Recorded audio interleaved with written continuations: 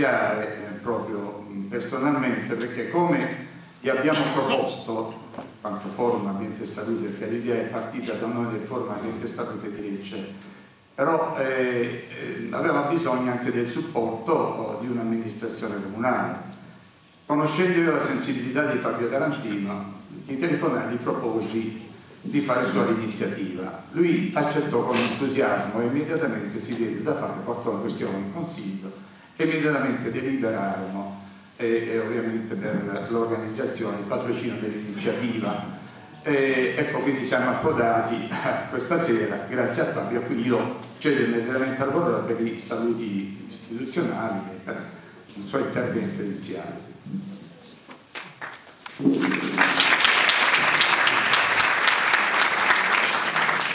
Grazie, grazie a Sergio, grazie al Forum Ambiente e Salute e grazie a tutti voi che avete deciso questa sera di trascorrere la serata all'insegna della cultura, all'insegna della riflessione e all'insegna della prospettiva, perché oggi noi cerchiamo con un laboratorio allargato, quanto più possibile allargato, di cittadini e di cittadine in maniera trasversale, dagli studenti ai lavoratori e ai pensionati, di incontrare i temi prima che le stesse problematiche arrivino addosso a noi come tempeste. Perché a volte succede che quando non si programma, quando non si pensa alla pagina successiva, cosa si può fare o non fare nella programmazione delle nostre comunità, da 5, 10, 15, 20 anni, quando non si ragiona e non si va al di là del proprio orticello o del proprio confine territoriale, si rischia di prendere la cantonata, si rischia di fare delle scelte che ricadono anche sugli altri e che compromettono il destino anche delle altre popolazioni. Bene, noi oggi ci troviamo qui per discutere. Abbiamo il piacere e l'onore di avere con noi il professore Sergio Latouche e a nome di tutta la comunità martanese, della giunta comunale, dei consiglieri di maggioranza e di minoranza e quindi di tutto il consiglio do al professore il benvenuto nella città di Martano.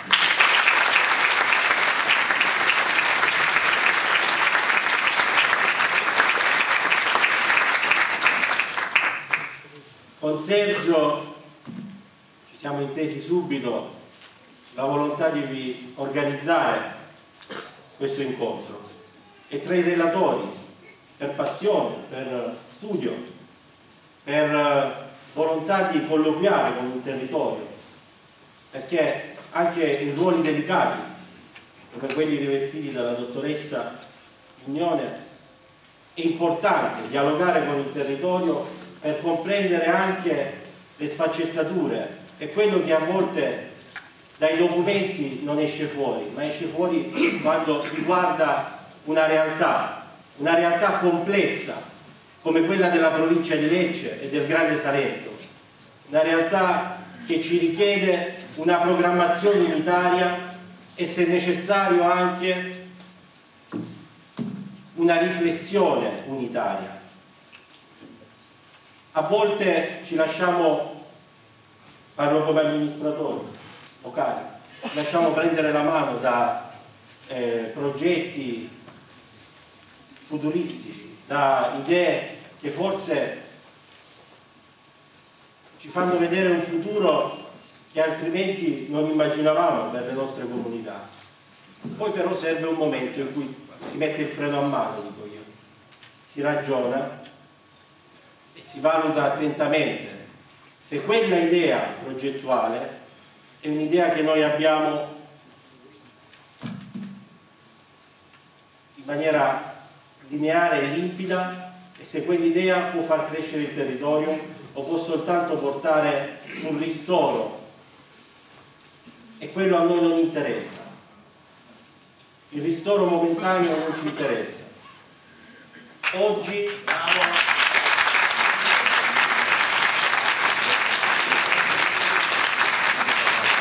l'amministrazione che mi onoro di presiedere e di guidare è in prima linea su tante battaglie ambientali.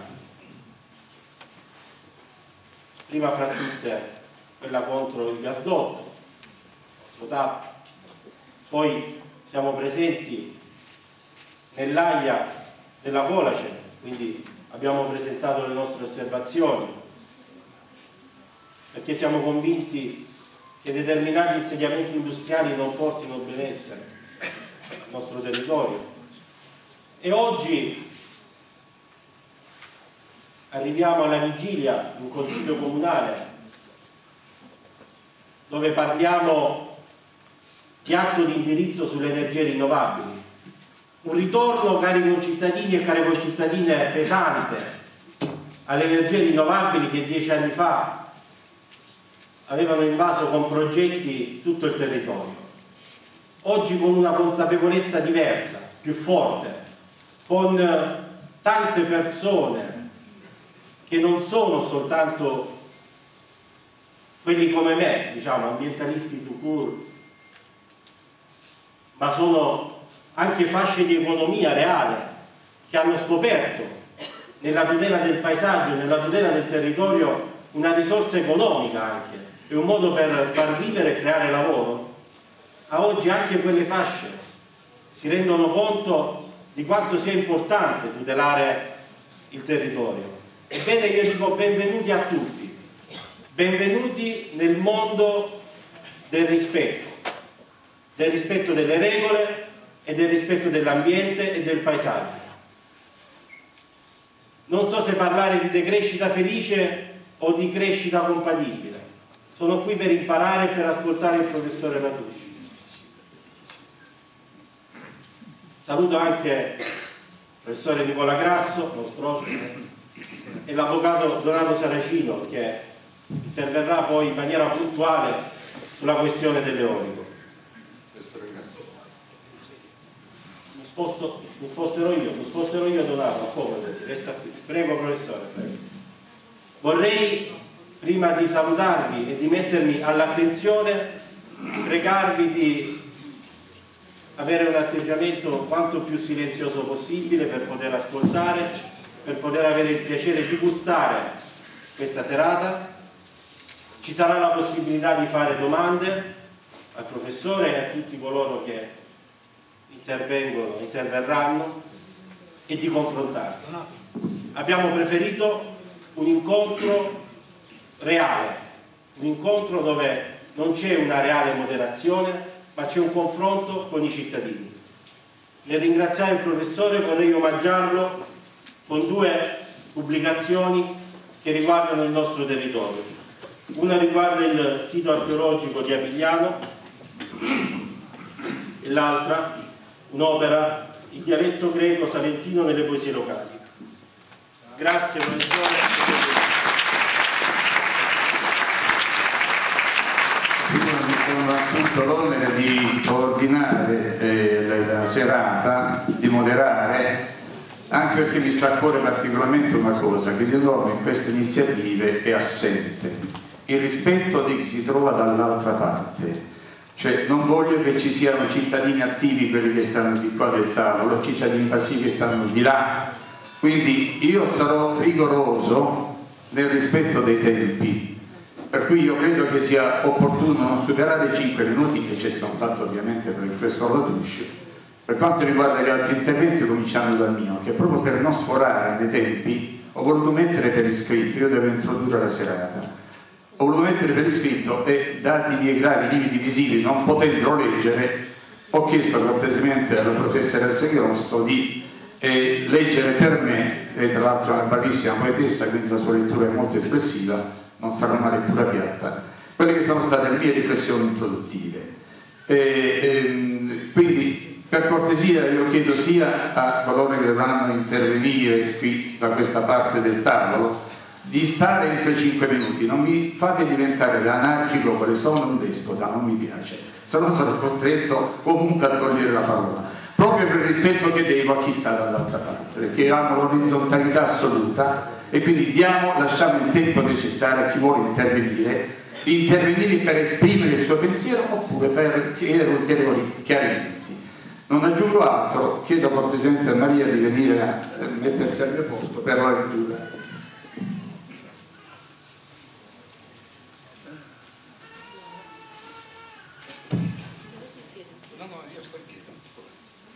rimango in piedi, poi dopo ci organizziamo meglio.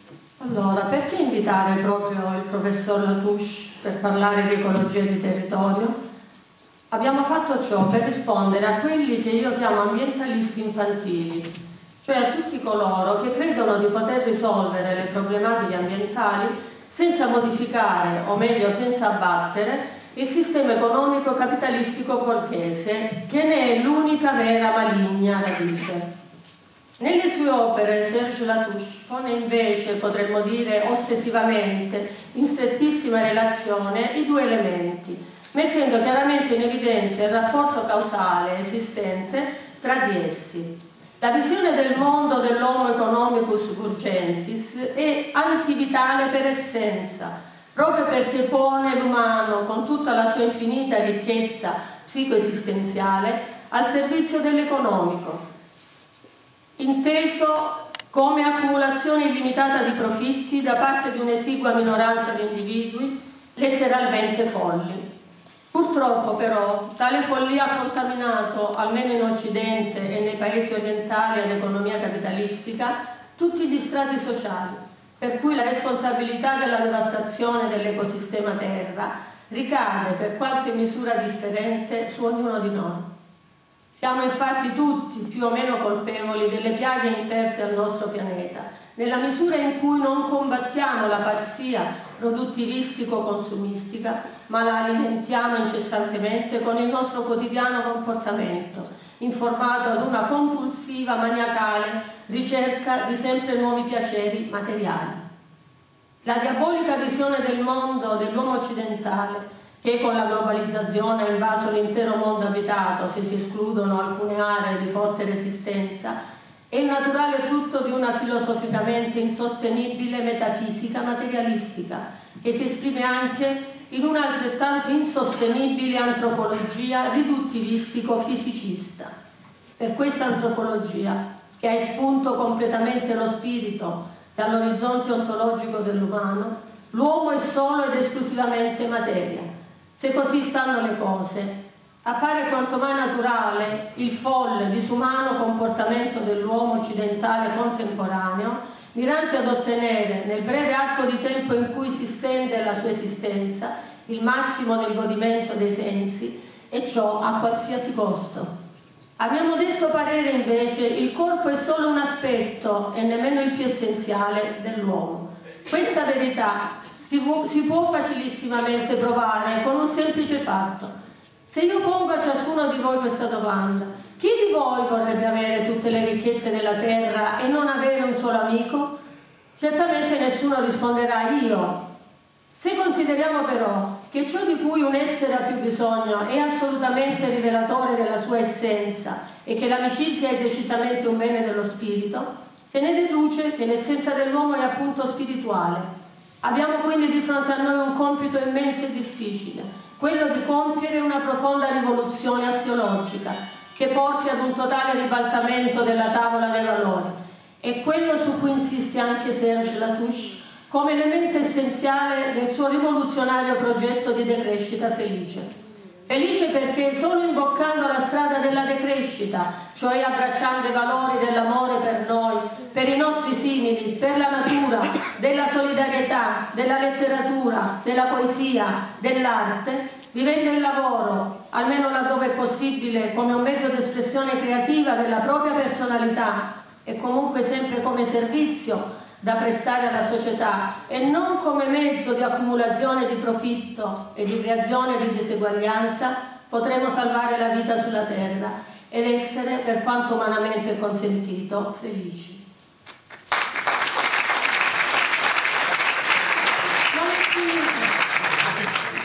Un attimo di pazienza e, Due e quasi finita. Due minuti ancora. La nostra terra, il Salento, ha pagato e sta pagando un enorme tributo alla follia della crescita economica infinita. Consumo scellerato di suolo, inquinamento dell'aria, delle acque, dei terreni, fotovoltaico ed eolico selvaggi, discariche abusive contenenti veleni di ogni sorta, tutto ciò viene pagato a prezzo di innumerevoli gravi e ahimè troppo spesso mortali patologie. Il disseccamento dei nostri ulivi, su cui è stata impiantata la criminale frode Xylella e l'altrettanto criminale gasdotto TAP, sono le ultime, ma solo in ordine di tempo, ignobili manovre delinquenziali perpetrate ai danni di quel paradiso terrestre che era ed in parte è ancora la nostra regione. Bisogna agire in fretta e con estrema determinazione. Chi mi conosce sa che da sempre faccio appello alla mobilitazione, alla resistenza radicale e assoluta del popolo salentino. Purtroppo però, a parte l'eroico impegno di alcuni generosi gruppi di cittadini, il mio appello cade nel vuoto, mentre l'avida bocca onnifagocitante dell'immonda speculazione economico-produttiva e finanziaria continua a divorare il nostro territorio e le nostre vite. Le emergenze ambientali sono troppe e troppo poche sono invece le forze che le combattono. Proprio per questo noi del Forum Ambiente e Salute abbiamo pensato di lanciare il progetto del Parco Salento, da realizzare attraverso un'azione congiunta tra i cittadini e le amministrazioni locali. Solo approdando alla concretizzazione di questo disegno porremo un baluardo invalicabile all'ulteriore devastazione del nostro territorio, cercando di ripristinare, almeno dove è possibile, la sua vocazione naturale. Un sogno? Sì, ma voglio ricordare che i sogni, almeno letti nell'ottica junghiana, indicano al sognatore quali correzioni deve imporre alla sua vita per condurre a compimento in modo sano e autentico la sua propria natura umana individuale. Sigmund Freud nel 1917, quando ci imperversava la prima guerra mondiale, scrisse in una lettera indirizzata a Lou Salomé uno dei pensieri più cupi ed inquietanti mai formulati dall'umanità. Un giorno il misterioso essere che sta dietro di noi si renderà conto di avere sbagliato ed andrà a tentare il suo esperimento da qualche altra parte. Dobbiamo abbracciare con tutto il nostro essere il concreto programma della decrescita se non vogliamo che l'angosciante pensiero di Freud si riveli una terrificante, realistica previsione.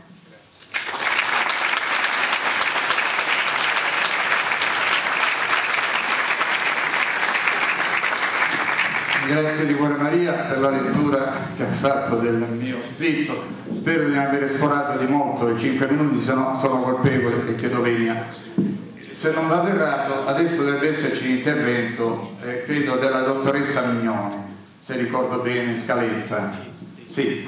Eh, Valeria, se lo avvicinarti, non so se qui stesso mi alzo io se c'è se necessario. Sono qua, sono qua, ho già portato di mano Sì, il microfono, non sapevo di dover aprire questo confronto. E innanzitutto grazie per avermi invitata, sono in una posizione diciamo un po' scomoda perché eh, rappresento su questo territorio l'ordine, l'ordine costituito dovrei rappresentare. Quindi certo non vi parlerò di quelli che sono eh, i casi singoli eh, in relazione ai quali stiamo cercando in qualche modo di apprestare delle tutele adeguate rispetto a quello che vediamo come una lesione, un estremo bene giuridico quale è l'ambiente. Ma vi invito a una riflessione, una riflessione cui spesso, eh, sotto, che so- spesso sottopongo ai confronti. Vale a dire, quale impronta ecologica nel giro di pochi anni stiamo imprimendo al nostro Salento. Non parlo di una singola opera, ma parlo di una serie di interventi che stanno man mano depauperando il territorio nel senso di farne perdere la sua identità. Le falesie. Il nostro territorio istituzionalmente è destinato ad essere friabile. La bellezza di Porto Luggiano nasce proprio dal fatto che la falesia si è staccata, degradando verso il mare, creando quei meravigliosi spuntoni di rocce. Come si pensa di far fronte al depauperamento? Con il consumo incredibilmente maggiore di territorio. Interventi umani, interventi invasivi di contenimento della falesia. La falesia, come dicevo, per sua natura è friabile. C'è un unico modo per contenere, smettere di caricare urbanisticamente la falesia e ciò che sta a monte della falesia. Quindi,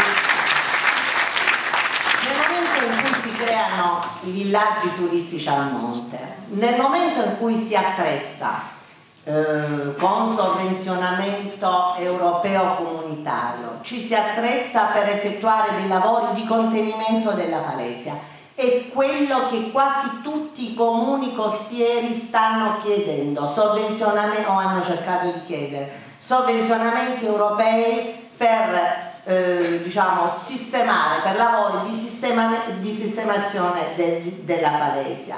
Nel momento in cui poi questi lavori di contenimento finiscono con una colmata di cemento con la quale si agevola il carico urbanistico, si costruiscono i parcheggi perché tutte queste zone diventino fruibili, perché non si è ben compreso perché bisogna esattamente fare il panno nel punto in cui diciamo, il Salento offre il meglio di sé come spettacolo naturalistico, bisogna necessariamente attingere le proprie membra all'interno di, quell'insenatura in modo che la fruizione sia una fruizione intesa appunto come edonismo finalizzato al godimento che ho di quella insenatura. E allora Ecco come attraverso i lavori di contenimento e attraverso tutto ciò che possiamo fare per frenare il degrado della falesia non facciamo altro che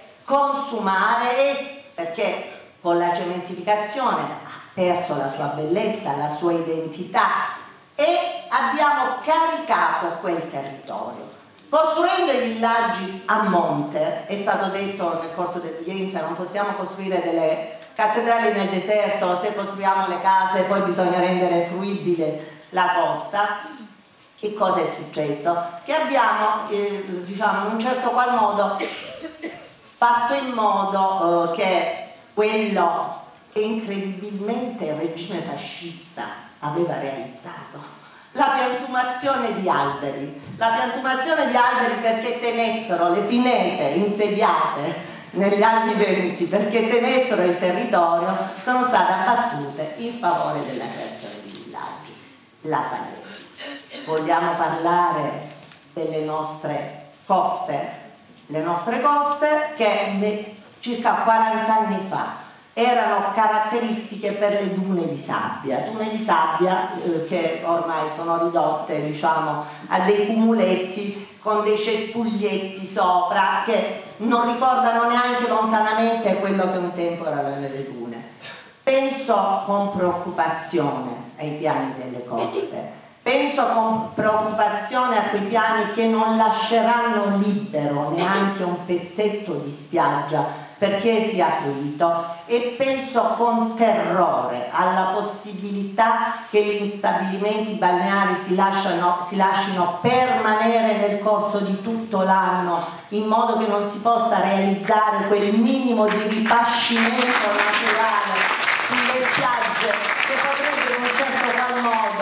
in un ambito senza pensare poi alle varie possibilità che gli uccelli non nidifichino eccetera senza andare oltre ma ancora di più. E con ciò poi mi taccio perché forse ho consumato i miei 5 minuti penso a quello stravolgimento dei nostri territori delle nostre eh, zone agricole, perché dopo aver consumato la costa ci stiamo addentrando verso la, i suoli agricoli. E stiamo consentendo diciamo, eh, con una interpretazione che agevoli uno sviluppo sostenibile, me lo potete passare questo termine, la realizzazione, no, poi lo chiariamo. Ambito, esatto. Poi lo chiariamo. In ambito assolutamente eh, satirico, in un certo qual modo, sì. eh, la realizzazione eh, di, mh, come dire, eh, eh, uno stravolgimento eh, intendendo quei casietti e le nostre pagliare come luoghi in cui già da tempo risiedevano i nostri pastori estivi, per cui sostenendo che consentendo eh, l'abitabilità, la, la, l'uso residenziale di questi caseggi e di queste pagliare sostanzialmente non si fa che perpetrare la tradizione perché i nostri pastori già in passato per accudire le greggi o per coltivare il fondo li usavano come residenza. Dobbiamo chiudere dottore. Chiudiamo. Vi dico solo questo che eh, eh, diciamo nella eh, realizzazione di queste case, ville residenziali, c'è anche la piscina. Mi chiedevo proprio l'altro giorno, innanzi al riesame, a cosa potesse servire la piscina, come potesse essere connessa alla coltivazione del fondo. Ho fatto un'ipotesi. Le nostre zone agricole sono caratterizzate dai fichi d'India. Forse le piscine servono per l'immersione dei fichi d'India perché le spine non volino e possano agevolmente essere tagliati e consumati. Grazie.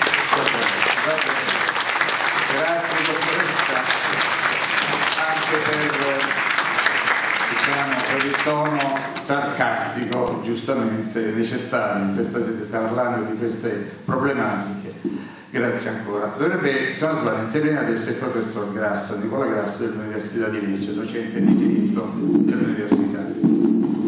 Nicola la stessa preghiera vale per te chiaramente. Grazie. Se vale per un giudice vale anche per un avvocato. Certo. Allora, un ringraziamento a Sergio Starace per aver organizzato questo straordinario incontro che ci permette di appunto conoscere dal vivo e ascoltare le, le teorie di, del professor Latouche che ovviamente tutti quanti abbiamo letto avidamente e, e che abbiamo come riferimento di una serie di azioni non solo dire, politiche ma anche eh, di ricerca, anche scientifiche. È chiaro che il mio apporto di costituzionalista è eh, diciamo, legato a eh, un po' coniugare, cercare di coniugare il panorama dei diritti fondamentali garantiti dalle Costituzioni con il concetto di decrescita, ma questo si coniuga perfettamente, soprattutto perché sappiamo molto bene che il concetto di crescita esponenziale, che un po' è diventata la bandiera di quella che, che anche Gallino no, ha chiamato la, la, la la lotta di classe, il rovesciamento della lotta di classe. Ormai c'è una lotta di classe da parte dei, del ceto capitalistico che ha di fatto stravinto contro quello che era l'iniziatore, cioè il ceto dei lavoratori. Ormai questa crescita che diventa un dogma da seguire sempre e comunque ha portato come conseguenza ineluttabile eh, la cancellazione dei diritti sociali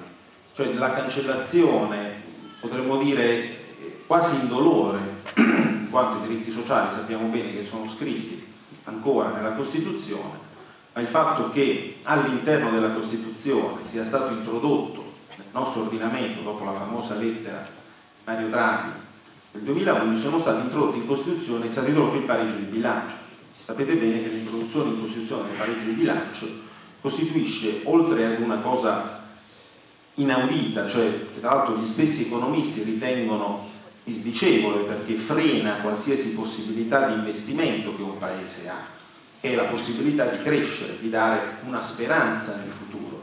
E in fondo i diritti sociali non sono altro che l'espressione concreta dell'auspicio più importante, diciamo dell'architrave della nostra Costituzione che è l'articolo 3 secondo comma. È compito della Repubblica rimuovere gli ostacoli di ordine economico e sociale che limitando di fatto libertà e l'eguaglianza dei cittadini impediscono il pieno sviluppo della persona umana. Questo è il fulcro della Costituzione, Questo, questa è la base attraverso la quale per 30 anni, no, nel trentennio glorioso, noi abbiamo realizzato un percorso che vedeva come obiettivo la riduzione delle diseguaglianze e oggi ci troviamo in una situazione esattamente opposta nella quale il diritto allo studio, il diritto alla salute, i diritti dei lavoratori sono totalmente calpestati, sono praticamente ridotti a nulla in una situazione tale per cui dei diritti fondamentali sono ormai non più esigibili sempre e comunque, ma sono legati, sono condiz finanziariamente condizionati. Questo ovviamente è il frutto di un, di, un, di un, dogma, di qualcosa di ineluttabile. Sembra che i principi sanciti dal, dall'influenza che ci viene dall'Unione Europea, ma ovviamente dal capitalismo finanziario globale, rendano quasi ineluttabili questi principi, quando sappiamo bene che tra i criteri macroeconomici che si sarebbero dovuti tenere in considerazione per valutare la tenuta del sistema europeo è stato introdotto il debito e il deficit, ma non è stato introdotto l'elemento della disoccupazione, è un chiaro segnale della presenza della diseguaglianza. Se la disoccupazione supera un certo, una certa percentuale è evidente che non c'è eguaglianza, perché il principio lavorista presente nella nostra Costituzione non è stato scritto a caso. Era evidente che il lavoro costituiva necessità eh, ed elemento per dare dignità alle persone, per evitare che le persone dipendessero da qualcun altro e quindi rendessero il sistema non uguale. È chiaro che questa situazione fa sì che vengono intaccati quelli che sono comunque dei beni comuni. La salute è un bene comune, il lavoro per certi versi può essere considerato qualcosa che rientra nel concetto di bene comune e ahimè, come è stato detto poco fa, anche nel nostro, nel nostro territorio il bene comune ambiente, il bene comune paesaggio, il bene comune identità culturale è stato profondamente, è palesemente sotto attacco. Io voglio ricordare a tutti voi, al di là della vicenda del gasdotto TAP, la vicenda Ulivi, la vicenda che riguarda, che viene chiamata impropriamente Xylella.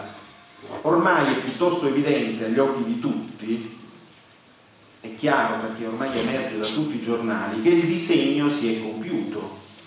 Il reimpianto e l'immissione, addirittura l'acquisto da parte di alcune organizzazioni di categoria delle famose varietà resistenti che dovrebbero rimpiazzare le nostre varietà storiche Nicola via della fine assolutamente è un elemento ormai chiaro. Quindi il disegno è emerso la xylella è stata utilizzata come cavallo di Troia per poter realizzare un obiettivo che da anni veniva come dire, sbandierato dai sostenitori del superintensivo, cioè il fatto che bisognasse eliminare gli ulivi secolari o comunque nostri, le nostre varietà di ulivi per, per rendere produttivo l'olivicoltura salentina.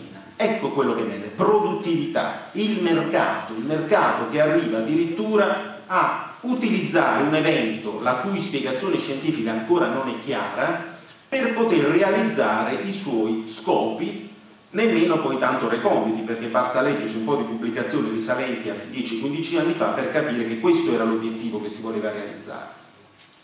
E chiudo dicendo che a questo punto, come bene comune, va anche introdotta la conoscenza. La conoscenza deve essere un bene comune, perché tutti dobbiamo conoscere cosa accade sul nostro territorio, perché queste cose si producono perché si presume che queste cose debbano essere appannaggio esclusivamente di alcuni scienziati che ci dicono dove hanno fatto il gasdotto, che ci dicono che gli ulivi sono malati di xylella, che ci dicono alcune cose che in realtà possono essere dette perché rimangono nel chiuso di pochissime persone. Diffondiamo i dati, valutiamo esattamente tutto quello che c'è sul campo in modo tale che la popolazione si renda conto di quello che accade, si realizzi una democrazia un po' più partecipata o addirittura comunitaria, dove le scelte non cadono dall'alto, ovviamente frutto apparentemente decisioni politiche, ma in realtà delle decisioni del mercato, che ci dice cosa è giusto fare e cosa non è giusto fare, buttando a mare, nel caso di dirlo, non solo le falese, ma anche anni di storia, di memoria, di tradizione, che poi rappresentano l'elemento per il quale noi siamo legati tra di noi e siamo legati a questo territorio. Grazie Volevo ricordare a Nicola, Nicola che i libri si stanno prendendo la rivincita, stanno rigermogliando, quindi non verranno spiantati, è chiaro? La natura ha smentito degli impegni menzogneri, va bene? Passo la parola all'avvocato Saracino, se ricordo bene Scaletta, eh, il quale eh, mi sembra di ricordare ha eh, curato forse più di un ricorso contro in particolare l'eolico selvaggio che è un pugno nell'occhio letteralmente eh, eh, riguardo al nostro territorio. È devastante non meno di altri interventi criminali l'eolico selvaggio. Quindi l'avvocato nei suoi cinque minuti ci dirà qualcosa riguardo a questo tema specifico, visto che Martano rischia di vedere una bella selva di paleoliche al suo confine, perché in quel di Carpignano stanno, hanno progettato la realizzazione di una mega centrale eolica. Prego, avvocato. Eh, sì, a Castrì abbiamo cercato di bloccarla, non ci siamo riusciti, perché Castrì non rispondeva. Esiste già però. Lo so, lo so, abbiamo lottato per questo. Io mi soffermerò un attimo sulla problematica dell'energia rinnovabile, eh, in particolare dell'energia eolica, perché in effetti a completamento di questo convegno eh, l'amministrazione comunale di Martano ha anche predisposto, e domani ci sarà il Consiglio Comunale, una delibera di consiglio comunale che riprende per la verità la sensibilità sorta nel momento in cui Martano si è visto arrivare, piombare addosso una selva di paleoliche nel 2007. In quel periodo, oltre a Martano, tutti i paesi, del, buona parte dei paesi del Salento, sono stati, come dire, aggrediti perché? Perché dalla, dagli accordi di Kyoto si sono sempre eh, inserite le cosiddette lobby per fare non per fare in modo che gli accordi di Kyoto andassero avanti in modo virtuoso, ma per poter lucrare, per poter approfittare di quella situazione per come dire, per interessi strettamente e soltanto economici. Se gli accordi di Kyoto fossero stati recepiti in modo diverso dalla stessa Unione Europea, noi avremmo avuto delle regole ancora più stringenti rispetto a quelle che più o meno si sono predisposte. Questo però non significa che i comuni e i territori non possano creare degli argini a fronte di quelle regole un po' blande che sono state create a livello internazionale. Mi spiego meglio. Se i nostri politici nell'Europa, nel Parlamento europeo, avessero considerato quello che era ormai dire, il, il, il risaputo, cioè che l'Italia è in effetti il giardino d'Europa, avrebbero dovuto, proprio perché l'Italia è il giardino d'Europa, avrebbero dovuto preservare l'Italia da tutti quegli elementi che possono deturpare, che possono rovinare il giardino e quindi avrebbero dovuto organizzare la, dire, il, la problematica dell'energia rinnovabile tenendo conto del territorio, tenendo conto della, dei luoghi, non estrapolati dai luoghi e quindi eh, dire, lasciare spazio agli interessi privati eh, rispetto agli interessi generali, ai, ai luoghi e ai beni comuni. Identica situazione purtroppo si è verificata nei periodi del 2007 in poi perché le cosiddette lobby, dove hanno cercato, dove pensavano di poter trovare terreni fertili, si sono buttate a, come dire, hanno invaso di progetti di parchi eolici. Martano però per fortuna in quel periodo è riuscito ad arginare la situazione deliberando il Consiglio Comunale la contrarietà par al parco eolico a Martano e sarebbe, sarebbe, stato bene che anche Zollino avesse fatto la stessa cosa e non si troverebbe oggi Zollino con una, con una sentenza del TAR che purtroppo dà la possibilità di un impianto. Il Consiglio di Stato, la, il TAR e il Consiglio di Stato hanno dato ragione a Martano dicendo che avrebbero dovuto necessariamente organizzare una, eh, un, impatto, un, impatto, cumulativo, avrebbero dovuto verificare l'impatto cumulativo, il, il possibile impatto, impatto cumulativo della, delle, dei parchi eolici. Ma questo dovrebbe succedere per tutti i paesi del Salento, non soltanto per Martano. Perché? Perché effettivamente noi abbiamo un territorio così delimitato, gli agri dei paesi sono agri delimitatissimi e sono agri che sono già di per sé ancora più delimitati dalle, dai, dai, dai muretti a secco, per cui abbiamo un territorio che possiamo identificare come le cinque terre in orizzontale. Noi abbiamo un territorio particolarmente sensibile, come giustamente diceva la dottoressa Mignone, le, per quanto riguarda le Valesie, ma l'intero territorio è particolare. Questo intero territorio particolare deve essere tutelato e organizzato in modo tale che non ci siano queste invasioni eh, terribili, queste mostruosità. Praticamente è il luogo che deve essere tenuto in considerazione rispetto ai servizi. Avvocato, no. si avvia alla conclusione, mi perdoni, si avvia alla conclusione. Quindi io ritengo che mettere i paletti come fa Martano e come dovrebbe fare anche Carpignano dove è, stato previsto un altro parco. Italia Nostra sta facendo domani sera un convegno proprio per sensibilizzare la popolazione carpignanese di questa situazione. È necessario quindi che questo territorio sia un territorio che rimanga così com'è perché soltanto in questo modo si può creare economia un'economia turistica che non contrasti con, con, con, questi scempi che potrebbero determinare addirittura eh, eh, danni anche economici per l'intero territorio. Grazie. Grazie Avvocato, è stato incisivo l'intervento chiaro e credo nei limiti di tempo. Volevo dire, mi suggeriva il sindaco perché viveva anche qui la sua sensibilità, non ha pensato soltanto all'aspetto a nutrire lo spirito, ma anche il corpo. Quindi eh, dopo eh, la fine della nostra serata ci sarà un, diciamo, un bicchiere di vino e mi ha detto un termine oddio che mi sfugge per un, un piatto, non so quale sia un piatto. Ah, di silipurda, io pensavo fosse qualche pietanza curda, invece no, mi dice che è locale un piatto di silipurda. Quindi rimanete ovviamente anche eh, dopo la conclusione del nostro convegno eh, per nutrire anche il corpo oltre che lo spirito. Eh, a questo punto ehm, non mi resta che dare la parola a questo Latouche che credo sia più o meno noto a tutti quanti presenti, quindi non spreco altre parole per presentarlo. A chi non dovesse essere noto diventerà noto non appena l'avrà ascoltato. Eh, allora, professore, le, o Sergio, meglio dico la parola, eh, siamo tutti orecchi. Ah, volevo dire una cosa soltanto. Sergio Latusci non ha cellulare, eh?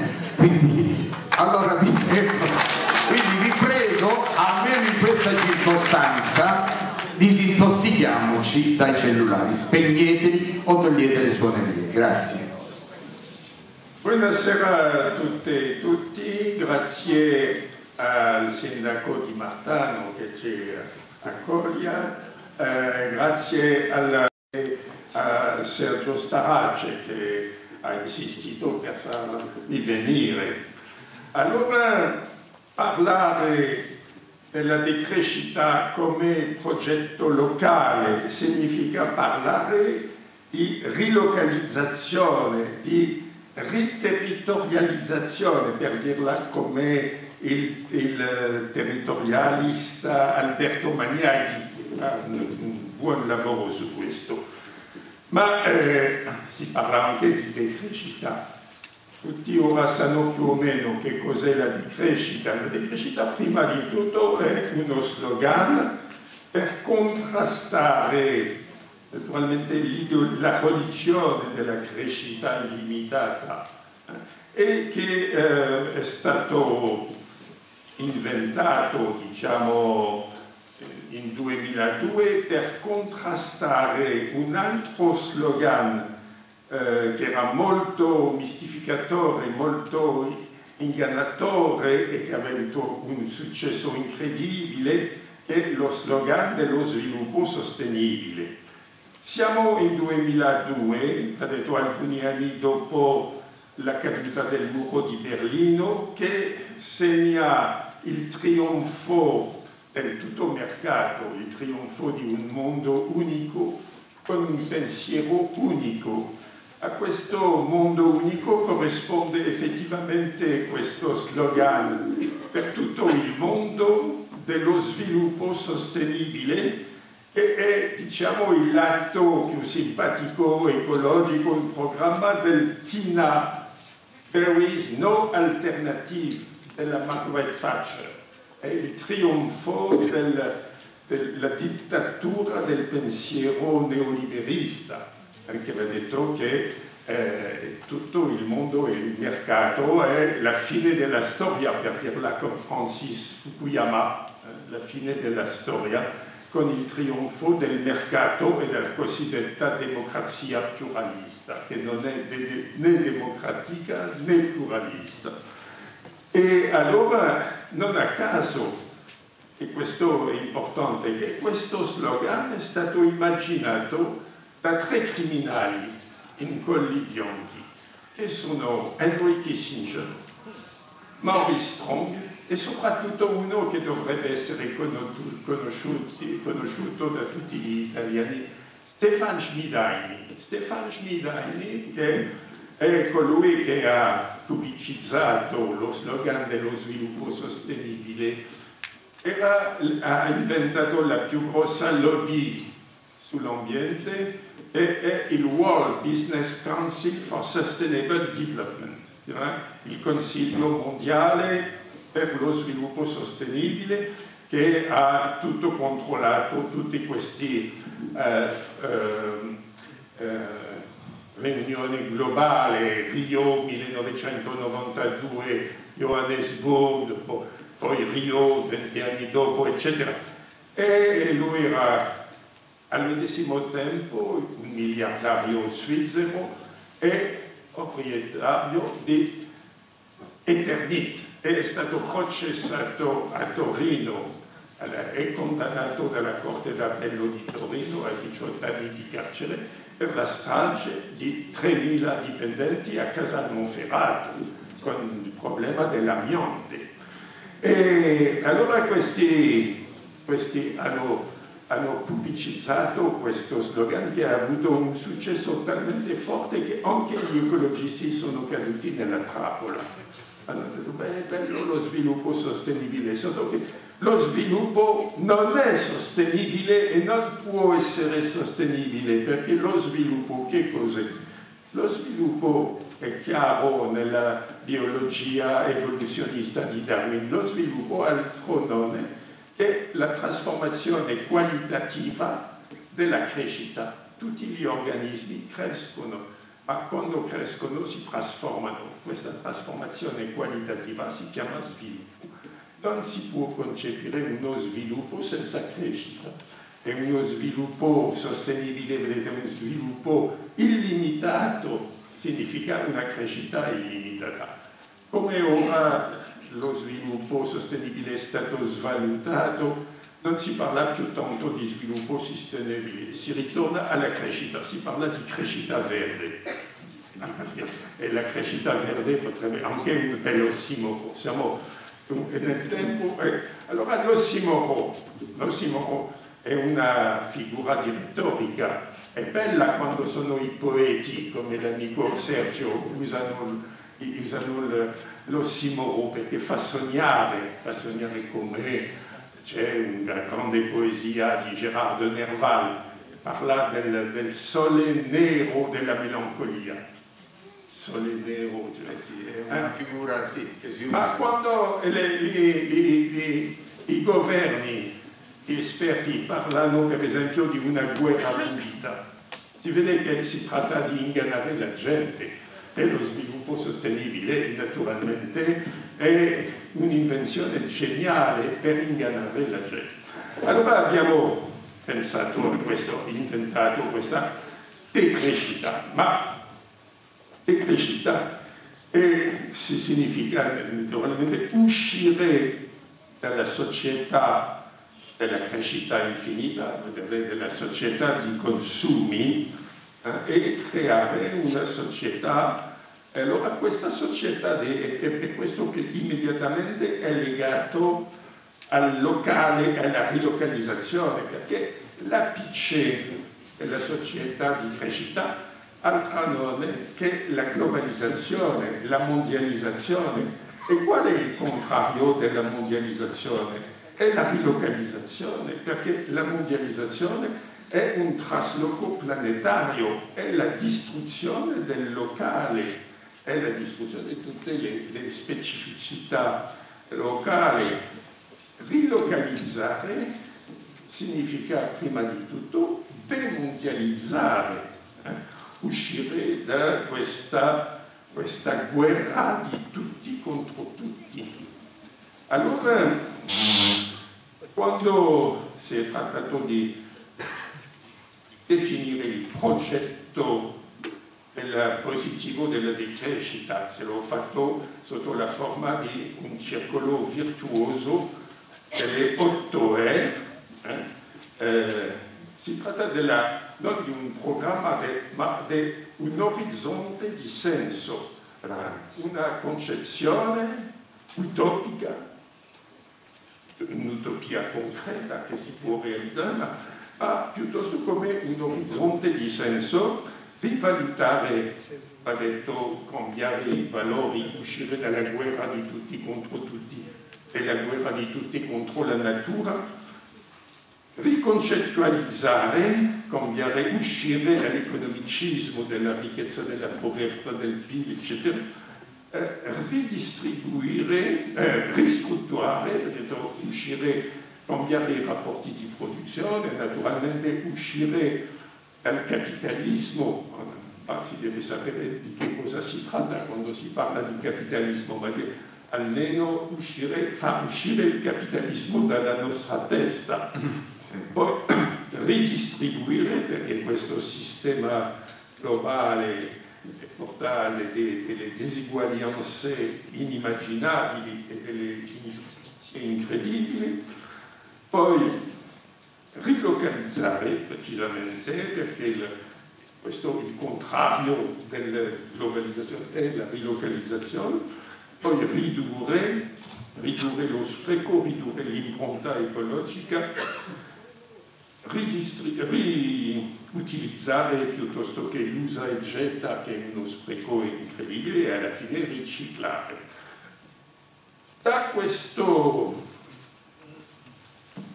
quel- in questo orizzonte di disegno si vede che la rilocalizzazione ha un, un elemento centrale, un elemento particolarmente importante e normale perché il vecchio slogan degli ecologisti era pensare localmente, agire global, ah no, pensare globalmente, agire localmente. E si trattava effettivamente, ma si, capisce, si capisce bene che anche il contrario è vero, si deve pensare localmente e agire globalmente. Allora di questo, di questo orizzonte di senso si può trarre naturalmente eh, due strategie. Una strategia che si chiama, potremmo dire, una strategia, come si, dice nella lingua degli esperti, in inglese top down, una strategia che parte dall'alto per andare verso il basso e un'altra strategia al contrario, eh, bottom up, anche parte dal basso per arrivare all'alto. Naturalmente, tradizionalmente, quando si fa una, un progetto si pensa sempre a partire dall'alto, la strategia eh, top down perché è più facile trarre da questo orizzonte di senso? Un programma politico a livello diciamo nazionale e per questo ho proposto eh, al momento delle elezioni francesi di 2007 un cosiddetto programma elettorale in dieci punti eh, senza farmi illusione, né illusione, non mi sono presentato, in ogni modo se mi ero presentato non sarebbe eletto e se eh, fosse stato eletto sarei stato assassinato. Ecco, così per dire. Ma facciamo che è vero, eh? È vero.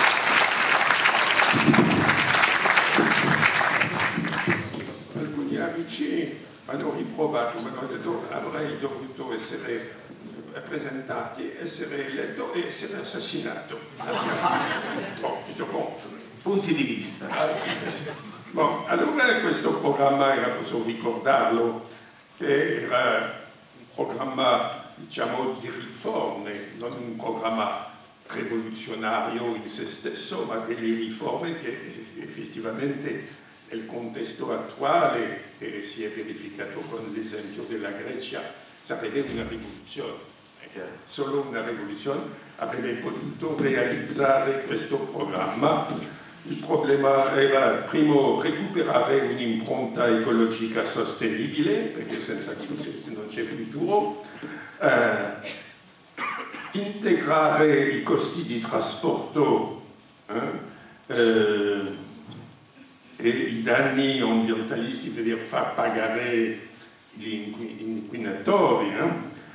Eh. terzo punto, rilocalizzare le attività eh, detto questo implica naturalmente una forma di protezionismo che è una cosa che fa orrore agli esperti di Bruxelles del Fondo Monetario Internazionale e della Banca Mondiale.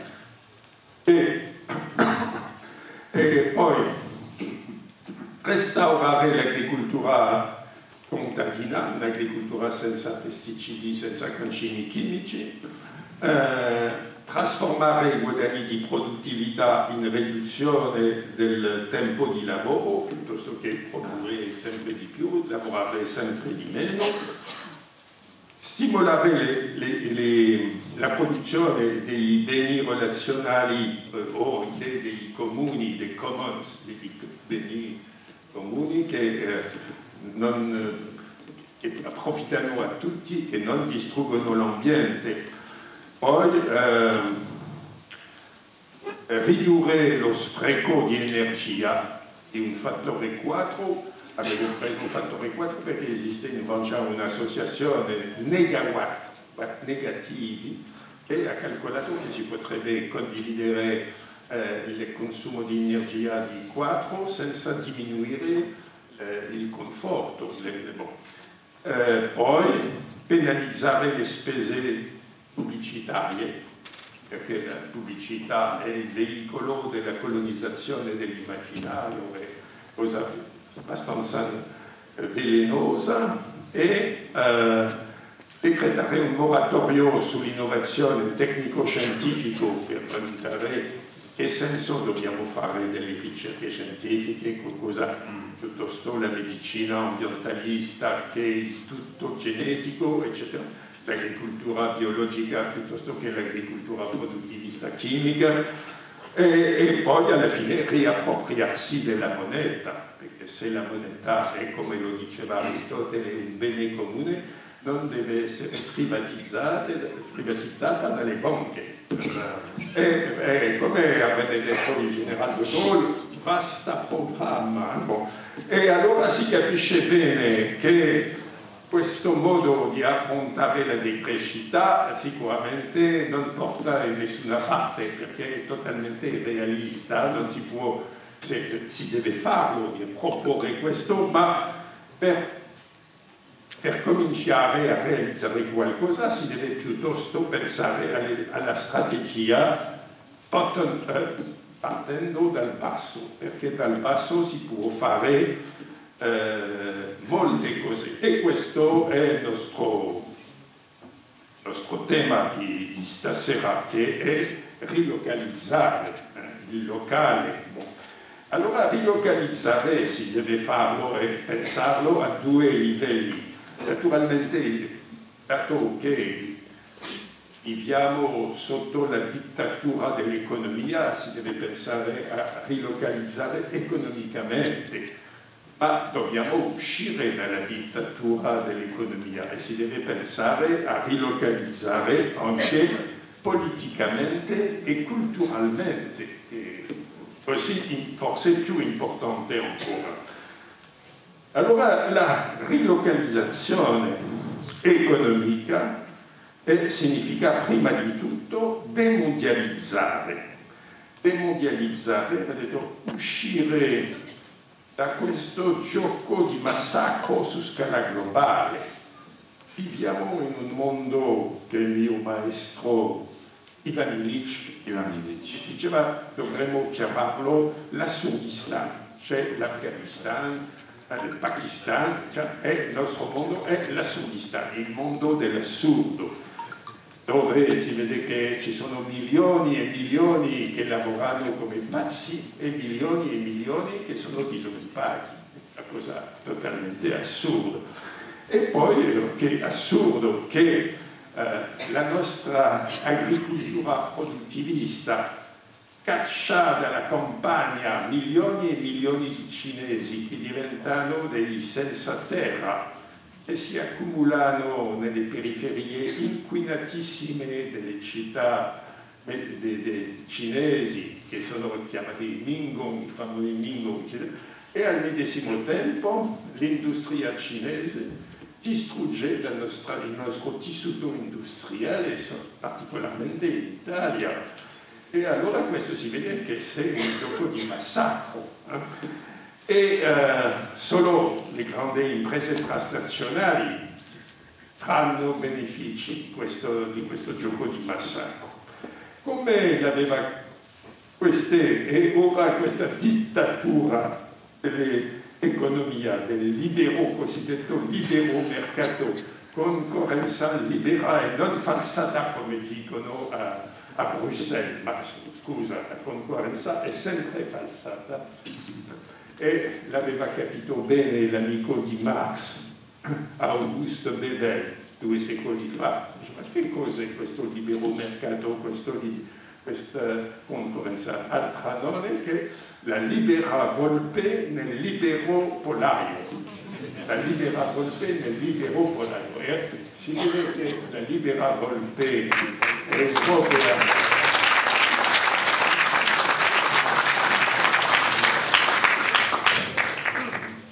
distrugge il polaio dell'agricoltura cinese e la libera volpe cinese distrugge il polaio del, dell'industria europea.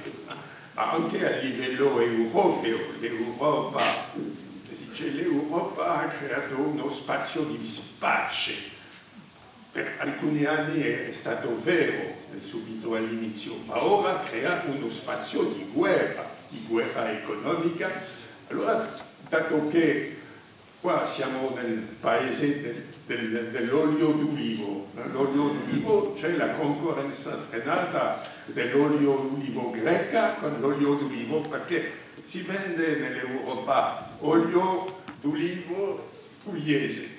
Da dove viene questo olio d'ulivo pugliese? viene dalla Grecia, arriva a Bari, parte del camion, è stampato ulivo originale Puglia, pugliese e è venduto in tutta l'altra Europa. E questo tipicamente il gioco di massacro dentro l'Europa. Allora dobbiamo uscire da questa e difendere l'agricoltura contadina contro l'agricoltura produttivista, l'ulivo contadino contro l'ulivo produttivista. Per questo c'è un bel esempio in Italia che si deve valutare e difendere malgrado tutte le critiche.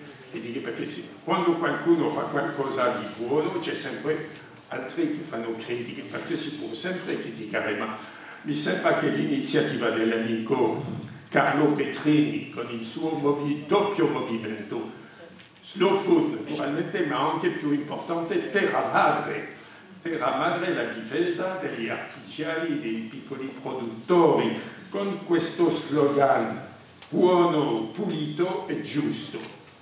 Mi sembra esattamente coerente con il progetto della decrescita.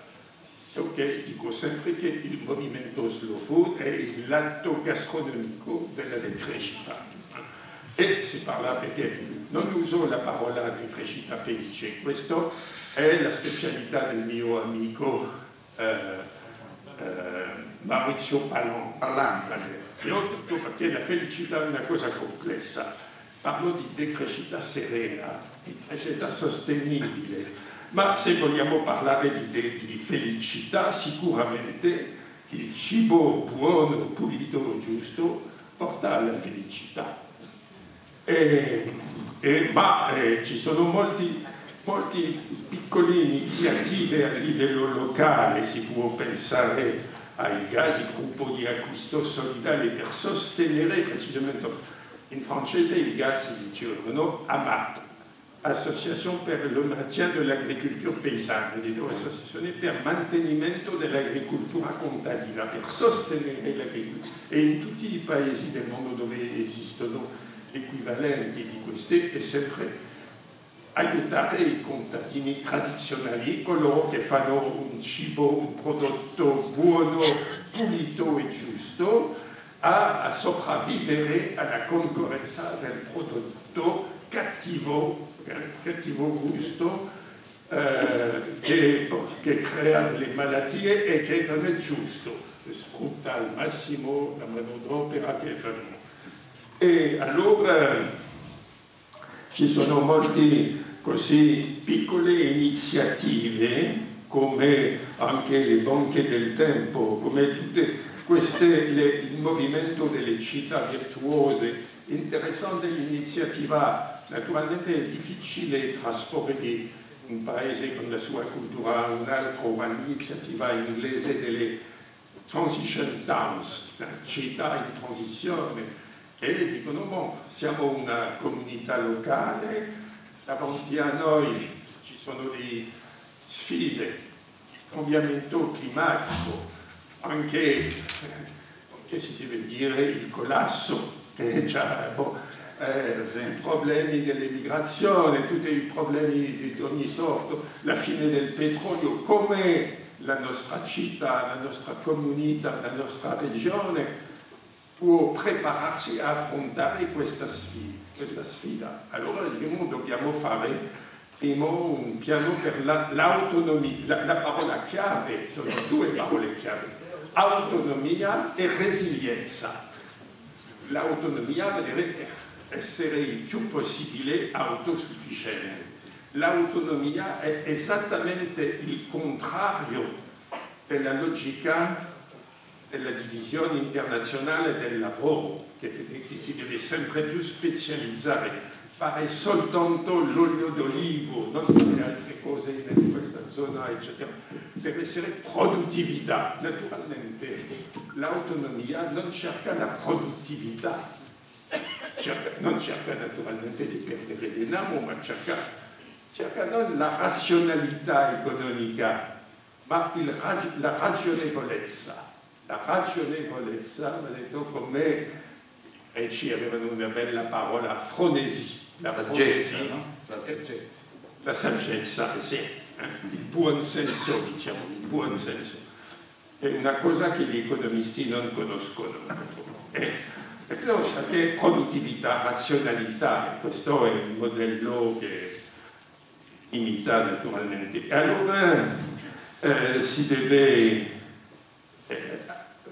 il più possibile eh, proteggere eh, queste iniziative locali che naturalmente puono, possono funzionare a livello di una piccola comunità perché come si qua per esempio la gente non compra l'olio al supermercato eh, anche se al supermercato l'olio greca meno, costa meno che l'olio del contadino ma hanno rapporti con un contadino, vanno dal contadino a comprare l'olio, sanno che questo olio è, buona, è, buono, eccetera. Allora questa è tipicamente un'economia di nicchia, eh? permette al contadino di sopravvivere perché ha una clientela fedele, fedele che non fa i calcoli stretti, non cerca di economizzare tre soldi eh, e che sa che facendo così ha un prodotto buono, pulito e giusto. Ma è, è fragile, è difficile perché l'attacco del sistema va, è di Bruxelles, perché cosa fa a Bruxelles? Danno denaro a coloro che eh, distruggono l'agricoltura tradizionale e che sono nel, e eh, favoriscono a tutti i costi la produttività. Anche una cosa pazzesca, eh, perché la, la, quantità dei pesci, la ricchezza aeronautica è limitata, ma continuano a favorire anche i grandi navi che immediatamente pescano tutti invece di mantenere in attività per tutti i piccoli pescatori senza distruggere la risorsa. E, e sempre, fa parte sempre del, dell'assurdità. La resilienza, la resilienza, allora l'autonomia precisamente favorisce la resilienza. La resilienza è la capacità di un organismo di resistere agli attacchi quando è attaccato, per esempio un formicaio, se si dà un calcio in un formicaio, i formighe subito lavorano per ricostruire eh, il formicaio, salvo che sia un momento se, la se si, si, fa tanti calci allora abbandonano, sono disperati, ma eh, c'è questa... Sicuramente si deve pensare che nella storia dell'umanità, per secoli e secoli, ci sono due istituzioni che hanno dimostrato una resilienza incredibile. La piccola agricoltura contadina, familiare, piccole imprese che hanno resistito nel tempo al Medioevo, anche prima dal Neolitico, dal Neolitico a oggi, eccetera. E il piccolo artigianato, l'artigiano che lavora in famiglia, eccetera. Questo che sopravvive anche nella Russia sovietica sul modo informale. Che cos'era l'economia informale? Era questi piccoli artigiani che lavoravano segretamente o così e che hanno permesso di sopravvivere e che dopo, quando è, è, è, stato distrutto l'economia sovietica, hanno permesso alla gente di sopravvivere abbastanza bene in Russia. E, e allora questo si deve incoraggiare, ritrovare, ritrovare l'artigianato e abbiamo bisogno di fronte, di fronte come, come potremo affrontare il collasso quando non ci sarà più, quando non funzionerà più internet, tutto il cellulare, eccetera. Avremo bisogno di un sacco di piccoli artigiani capaci di, di fare bricolage, di riparare le cose, di mantenere, di mantenere il minimo per assicurare una vita decente alla, alla gente. Allora si deve già, invece di distruggere questo tessuto di Sergio, per favore, il concetto di abbondanza frugale io credo sia centrale nella filosofia della decrescita, lo vuoi illustrare? Ah sì, ma questo, la, cosa significa l'abbondanza frugale? Perché si può dire, lei ha detto che eh, lo sviluppo sostenibile era un ossimoro, ma l'abbondanza frugale non è un ossimoro. Allora si pensa subito perché siamo formatati nella, nella nostra realtà, siamo tutti, anch'io formatato. E allora pensiamo che eh, la frugalità è il contrario dell'abbondanza, perché ci hanno convinto che viviamo in una società d'abbondanza, perché per, effettivamente c'è lo spettacolo dell'abbondanza, ma l'abbondanza è solo uno spettacolo, si vede i scaffali dei supermercati pieni di giochi. Poi c'è uno spreco incredibile perché con l'usa e getta si butta, si butta, si butta e, e delle cose eccetera. Ma le cose più importanti sono la scarsità è, è, è, non è mai stata più forte il, il, buon cibo è diventato una cosa difficile da trovare. Un cibo sano non si trova più. C'è sempre, anche nell'agricoltura biologica, non si può garantire che il prodotto non, non ha dei, dei, dei, prodotti chimici, delle cose che generano il cancro, eccetera. Tutto, eh, e poi l'aria pulita non esiste più l'acqua naturale non esiste più, l'acqua ora è un prodotto industriale, tutte queste poi anche l'ozio è diventato una cosa rara. E, e poi l'abbondanza può esistere solo se, se poniamo dei limiti, senza limiti non c'è mai, e lo sapevo bene Epicuro per esempio, che diceva colui che non sa soddisfarci di poco non sarà mai soddisfatto di niente. E, e allora è per questo che si deve eh, porsi dei limiti. Allora eh, ha parlato del fatto che non ho un cellulare. Non dico che il cellulare è un'invenzione diabolica, forse è diabolica per certi lati, ma o altri lo sono. No, ma mio maestro Ivanovic diceva che dobbiamo praticare il tecno di giugno. Il tecno di giugno. Importantissimo questo concetto oggi. Non, non perché queste tecniche sono diaboliche, eccetera, no, solo per affermare la nostra autonomia, la nostra capacità di fare almeno, poter fare almeno di una macchina. Eh, come si sa, lui era un partigiano della bicicletta e aveva dimostrato che la bicicletta era la cosa che andava più veloce, che era più, più eh, eccetera. E, e, poi che non ha bisogno di petrolio per funzionare, permette l'autonomia. E allora, per questo, la frugalità è colui che sa essere frugale può vivere nell'abbondanza perché è, è soddisfatti. Se, quando ho, ho, ho fatto questa idea dell'abbondanza frugale pensavo a grande antropologo eh, americano Marshall Salins. Marshall Salins ha scritto un bel libro e si chiama, anche in Italia credo più o meno, è tradotto questo titolo, Età della pietra, età dell'abbondanza. E lui diceva L'unico periodo della storia dell'umanità che si può definire come l'età dell'abbondanza è il paleolitico, le, le, le società di cacciatori-raccogliatori. Perché? Perché queste società, di cui esistono ancora alcuni gruppi aborigeni che non abbiamo ancora ucciso, alcune foreste dell'Amazzonia, nel deserto del Calari, nel eh, perché hanno pochi bisogni e questi bisogni sono soddisfatti con un'attività, un'attività divertente che niente a che vedere con il nostro lavoro, attività di caccia, di raccolto, di, bon, e uh, di due o tre ore al giorno. E tutto il tempo, il resto di tempo è dedicato all'ozio al gioco, a, a parlare, a fare le cose, alla vita sociale, alla vita familiare.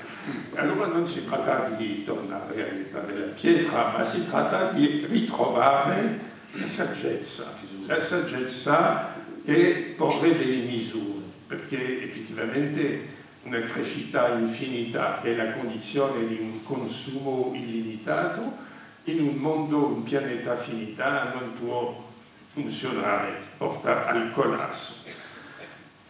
E allora per questo, perché in, eh, nel, nel, nella Puglia alcuni anni fa si parlava dopo soprattutto le opere del mio amico Franco Cassano, eh, il pensiero meridiano, poi c'era il eh, movimento, l'illusione di quest'uomo politico della Puglia, eh, Niti Vendola o altri, altri come un amico Guglielmo Minervini, eh, che ha fatto un libro La politica generativa, eccetera. Allora si è parlato del paradigma del localismo virtuoso e poi dopo alcuni anni boh, il localismo virtuoso non funziona finalmente. No, non funziona perché questo localismo virtuoso era ancora iscritto nel paradigma dello sviluppo, anche sostenibile o non sostenibile, non, non è,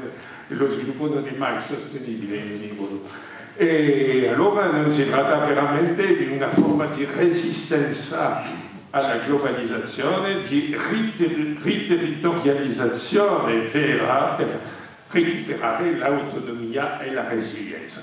E per questo, per uscire da questi impasse, si deve anche, il secondo lato, rilocalizzare politicamente e culturalmente, anche direi antropologicamente. Allora, non si tratta, quando si parla di rilocalizzare politicamente e culturalmente, ma questo è un progetto reazionario perché subito si pensa che alla Lega eh, Nord è tutt'altra cosa, non si tratta quando si, naturalmente si deve difendere l'identità locale, ma non un'identità chiusa, un'identità e l'identità di una zona come la Puglia è sempre stata un'identità accogliente, un'identità plurale, un'identità aperta, è un'identità scelta da un certo punto. Siamo qua un paese dove si parla ancora greco. E allora ha detto che ci sono degli albanesi, dei greci per secoli, secoli che sono venuti, che hanno stratificato tutto eh, il paesaggio umano di questa di questa zona eh, è basata sulla democrazia locale. La democrazia locale è l'unica democrazia vera, perché parlare di democrazia per 7 miliardi di uomini non ha senso, non si può fare una democrazia. La democrazia deve essere naturalmente il più diretta possibile. E, e per questo allora l'utopia l'utopia comunalista che è stata sviluppata da un anarchico ecologico eh, americano robusto che è Murray Bookchin. Murray Bookchin, che è morto alcuni anni fa, aveva sviluppato quest'idea di, una, di organizzare sotto forma, una forma piramidale, la comunità locale che delega a livello superiore com un comune di comuni e tutti fino a... Naturalmente è chiaro, per risolvere un problema come il cambiamento climatico, che è un problema globale, si deve, a livello locale non si può fare molto, si deve effettivamente pensare a un'azione politica a livello globale. A questo livello globale si, si costruisce a partire del basso. L'ha, sviluppato anche un altro un greco che vive Londra, in, in Inghilterra, Takis Fotopoulos, che è più o meno discepolo di Castoriadis e di, e di sviluppatori allora queste idee sono più o meno alla base localmente è la bioregione o l'ecoregione, va detto un'unità come il Salento. Il Salento è un'ecoregione, una regione che ha la sua identità, una certa autonomia, una certa e che può articolarsi su, su, su altre regioni e si deve ricreare, e questo non è una cosa facile, è una vera sfida, ricreare un tessuto locale, ricreare una comunità eh, aperta. E per questo eh, non c'è una ricetta perché siamo, siamo confrontati alla grande sfida che eh, la mega macchina mediatica è a livello globale e questa, questa mega macchina è la mega macchina alla, al, al, al, che, che, che, ci, che ci uh, manipola, che ci crea uh, formattato, eccetera. Ho avuto questa esperienza alcuni anni fa, eh, sono stato invitato da un gruppo di cittadini di Delfi in Grecia e volevano fare anche una battaglia loro perché c'è un progetto eh, demenziale sul sito archeologico di Delfi, c'è una miniera di eh, alluminio e c'è un progetto di eh, fare, di, di, sfruttare questa miniera. Allora i cittadini virtuosi diciamo, hanno cercato di fare una lista civica, di contrastare, ma non, ha, non hanno riuscito perché la gente con la colonizzazione delle hanno detto ah, la miniera porterà la ricchezza, il benessere dei posti di lavoro, cioè, sempre il medesimo discorso, si può fare il discorso possibili per il mega ponte sullo stretto di Messina, per la TAF nel Val di Susa, per tutte le grandi opere che distruggono il tessuto locale, eccetera. E, e allora questo perché questo vale anche per le città in transizione, si può fare un bel progetto locale, solo che la mega macchina continuisce a colonizzare l'immaginario eh, localmente e, e, e come... Televisione, la televisione. Eh, sì, sì, sì, la televisione, tutti questi.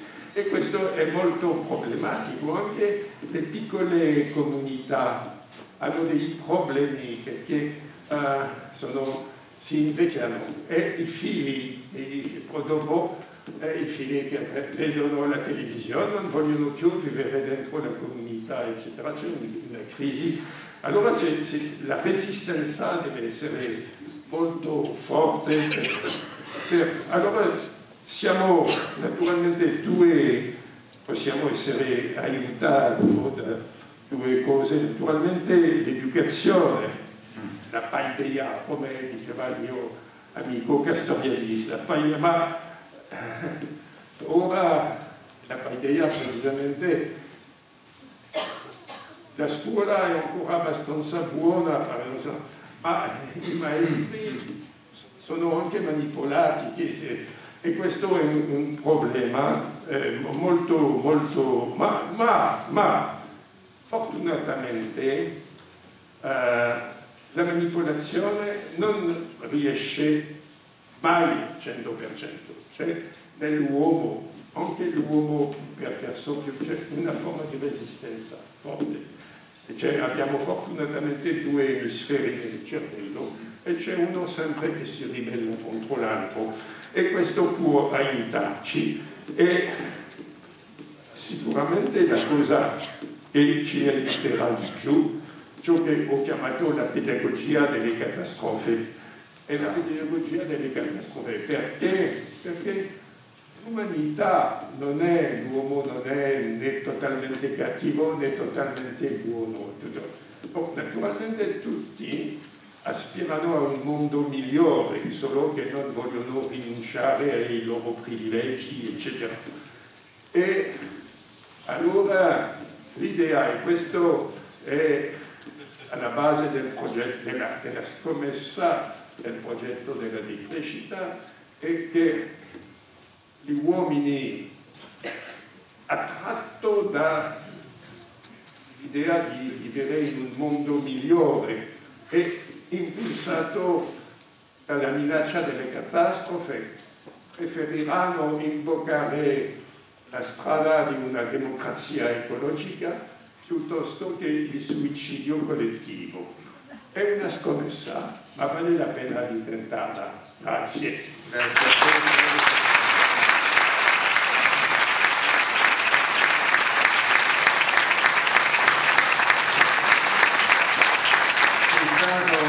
come sempre assolutamente illuminante, esaustivo. Eh, grazie anche per il tuo italiano, che conosci molto meglio di tanti italiani purtroppo, perché la scuola non insegna più neanche la lingua madre. Eh, volevo, se mi permettete, in un minuto nemmeno, offrire un esempio concreto di abbondanza frugale, tratto dalla storia, quando, dalla storia antica, quando Alessandro Magno conquistò Atene, eh, eh, sentì parlare della presenza in città di un saggio, di un filosofo, il cosiddetto Socrate pazzo, era Diogene di Sinope, che era un cinico, eh, non perché cattivo, un seguace della scuola socratica minore, la scuola cinica, che era caratterizzato dalla limitazione dei bisogni, per loro la virtù era limitare i bisogni. Allora si fece condurre da, da Diogene, il quale essendo inverno era seduto per terra e si riscaldava al sole. Alessandro in tutta la sua statura si parò davanti e gli disse ho sentito parlare di te, dicono che sei un grande saggio, io sono un grande re, potente e ammiro i saggi, dimmi ciò di cui hai bisogno per portare avanti le tue ricerche e io metterò tutto a tua disposizione. Diogene lo guardò dal basso verso l'alto perché era seduto Diogene e poi gli fece togliti dal sole che mi fai ombra. L'episodio vero l'episodio vero non richiede commento va bene. Ecco perché lui viveva nella più assoluta abbondanza Diogene. Dormiva in una botte non per tutta la vita ma per un periodo di tempo e aveva bisogno di nulla quasi. Ecco perché era potente, più potente di Alessandro. Allora adesso diamo un corso a una serie di, di, di, domande. Io me ne ero riservato una, è un po' il privilegio di chi diciamo coordina, però do ovviamente la parola alla dottoressa Lignone che se deve porre la domanda al professor Latouche. Ovviamente poi ci si, Maria cortesemente se puoi affiancarmi, eh, eh, perché prendi tu le prenotazioni eh, sei già prenotato? Eh sì, e poi, poi ecco gentilmente però due minuti con un minuto di tolleranza va bene? Eh, quindi eh, prego Valeria puoi porre la tua domanda Beh, la mia non è esattamente una domanda ma mi ha fatto molto diciamo riflettere concetto del professore Latouche sulla caduta dell'impero romano.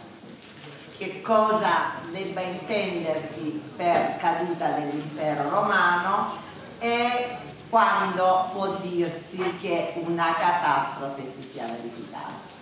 Perché mi è sembrata eh, che lei abbia acceduto a eh, una visione, come dire, un po' mi passi questo termine, eh, liquida della catastrofe. Cioè la catastrofe è eh, un qualcosa, così come la caduta dell'impero romano, che collocano nell'anno 476, in realtà dobbiamo intenderci, lei dice su che cosa sia la caduta dell'impero romano e così per quanto riguarda la catastrofe.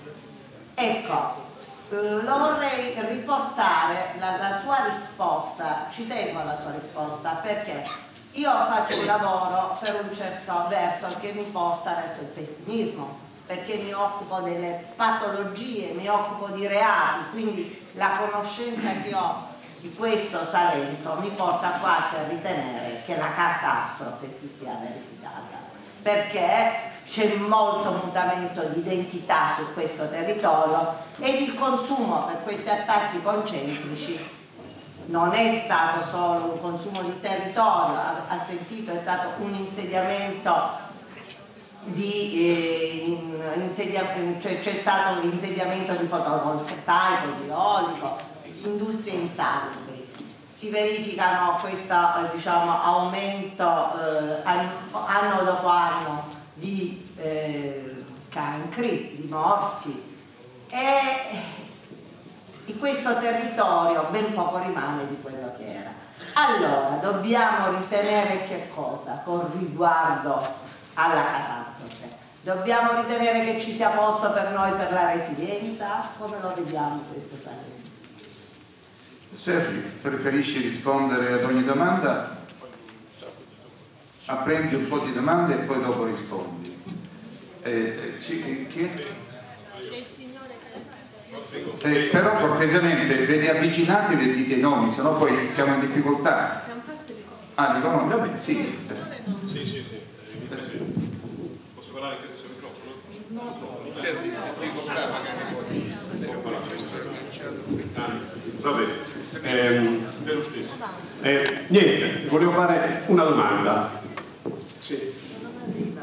Scusatemi per quelle le domande che farò, anzi, c'è una domanda con due osservazioni. Una, la prima sono queste bottiglie di plastica. Eh? Cioè, noi parliamo di, eh, di, di inquinamento, parliamo di interventi globali, abbiamo le bottiglie di plastica.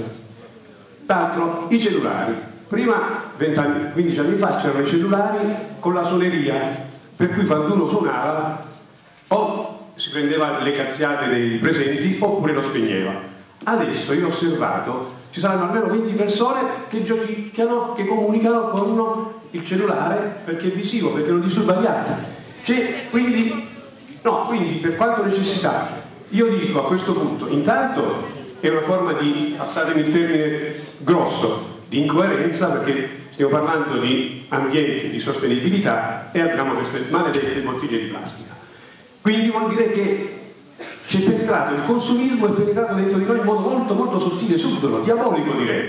Allora, io chiedo alla Tusci e agli altri relatori quali strumenti abbiamo per impedire questa penetrazione mentale, come diceva giustamente la Tusci, dentro di noi di tutti i mezzi che ci permettono di diventare sempre più individualisti, sempre più egoisti, sempre meno attenti e coerenti a quello che vogliamo eh, che, che, sia, cioè che il pianeta sia sostenibile. Bisogna partire da queste piccole cose, secondo me. Grazie. Grazie, la domanda è interessante. Giovanni Segui.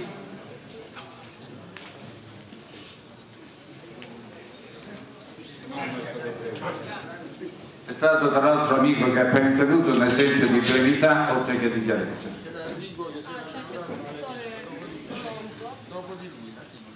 Ah, c'è Enrico? Professor Colombo allora. Ah.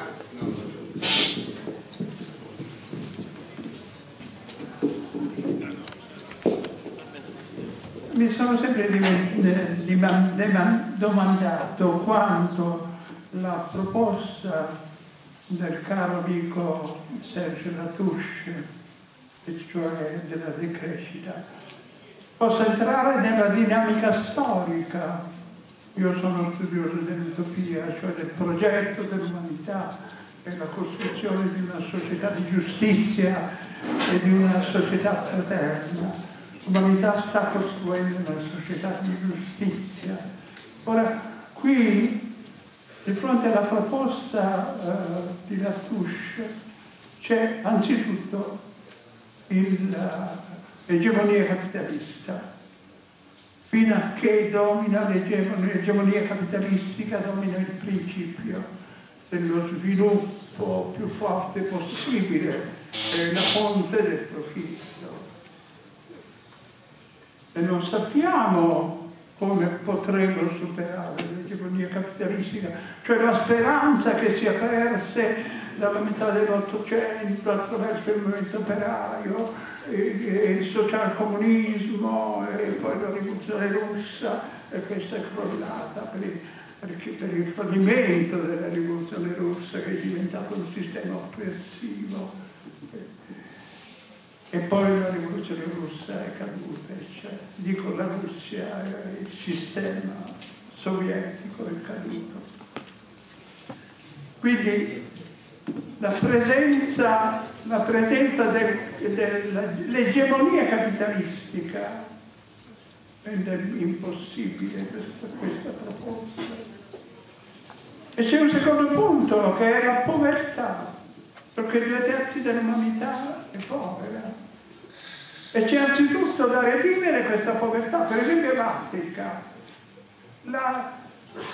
Noi, noi, noi con il nostro movimento per la società di giustizia abbiamo fatto una proposta ai capi di Stato europei, oltre eh, che a quelli italiani, cioè che l'immigrazione, la povertà e la fame sia sospesa, finisca specialmente dall'Africa. E invece dei singoli stati africani vadano delle, dei gruppi, delle commissioni, eh, anzitutto economiche, per costruire l'economia dei singoli paesi. Questa è la soluzione del problema. La presenza della povertà rende pure impossibile eh, l'applicazione di questa proposta.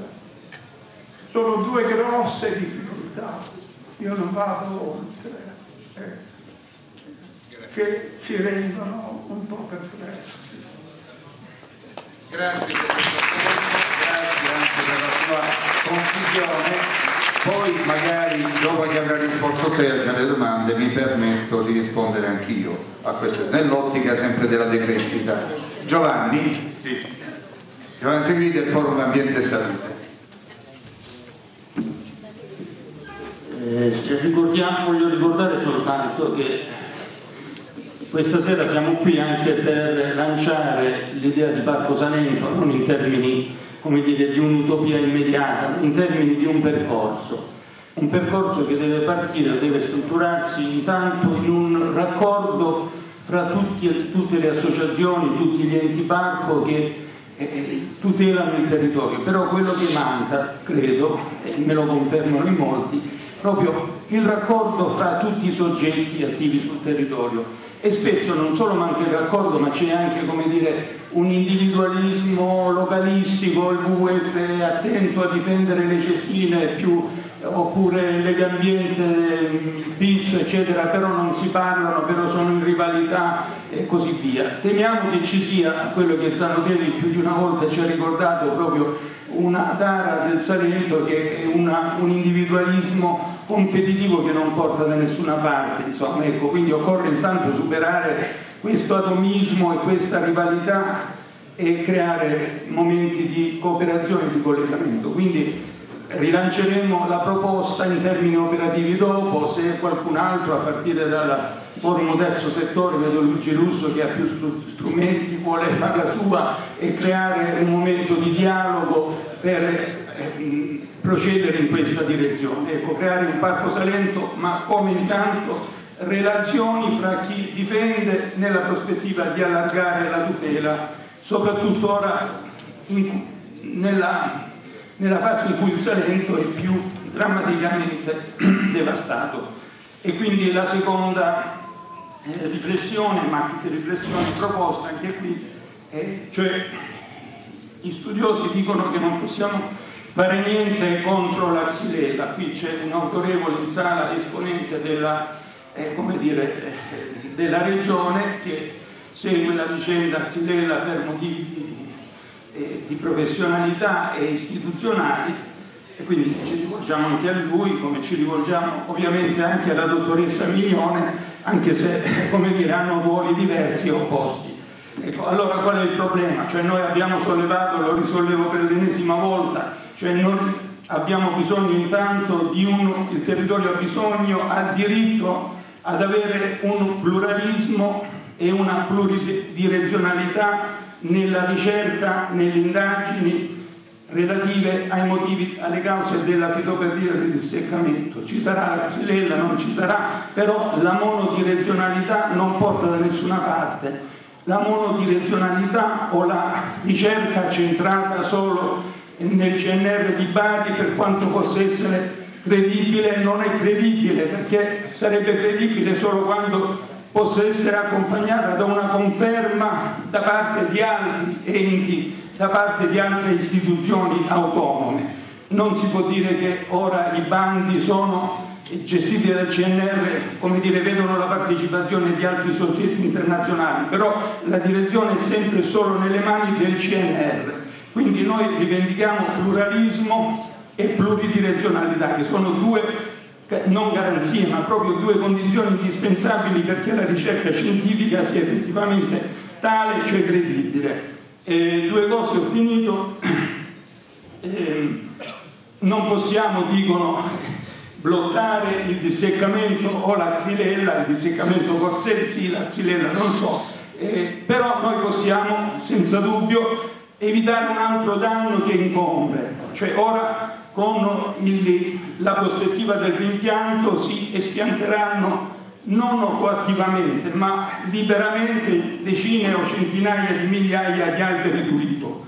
Allora il problema è riusciamo a dare una seconda vita a questi alberi se non riusciamo a bloccarne l'espianto spesso demotivato. Ecco, allora, e, e, qui c'è anche una proposta dire, di recupero dell'artigianalità di, di recupero delle professionalità dismesse del territorio. Cercare di dare una seconda vita significa cercare di tutelare l'integrità dei tronchi secolari, non mandarli al camino, non bruciarli, ma renderli protagonisti di una seconda, ecco, lui, lui, lui dà un testimone di Cosimino Rolli che si sta già impegnando in modo ovviamente molto eh, semplice ancora, però sì, sì, sì, ho finito. Eh, quindi lancio questa proposta perché deve essere un messaggio che deve circolare e comunque siamo riusciti in parte a farlo circolare perché a ottobre dovrebbe esserci un evento come si dice europeo proprio per questo però non basta bisogna attivarsi tutti Le,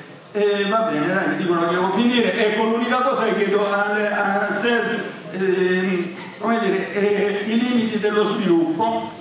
Ne aveva parlato il club di Roma 40-50 anni fa, anzi nel 72, 50 quasi anni fa, no? Perché poi è stato dimenticato il club di Roma che non era di estremisti ma era in collegamento con il MAI statunitense, era in collegamento appunto con istituzioni pure diciamo dell'ambiente capitalista.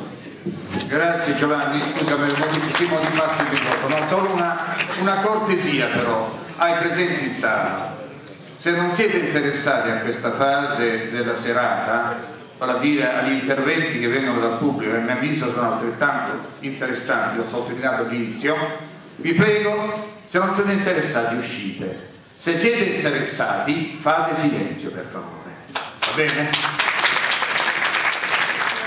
Prima di dare la parola al prossimo intervento, devo ricordare che verrà offerta dalla, dall'agriturismo Torre Canfore per l'amministrazione di agriturismo verranno offerti un bicchiere di vino e una silicurda che è stato eletto piatto della decrescita e quindi dopo ci sarà appunto offerto gentilmente per l'amministrazione eh, di Martano dall'agriturismo Torre Canfore di Francesco Palano questa gentile appunto cos'è la sinicurda?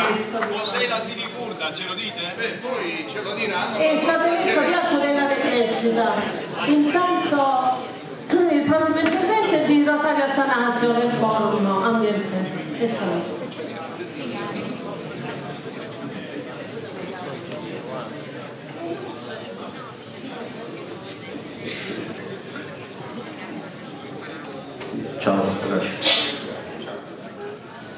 Allora, a me si Io piace rinnovo la preghiera di fare silenzio. silenzio o uscite. Eh. Non tollero il vocio nella stanza, per favore. È fastidiosissimo. Mancate di rispetto. Va bene.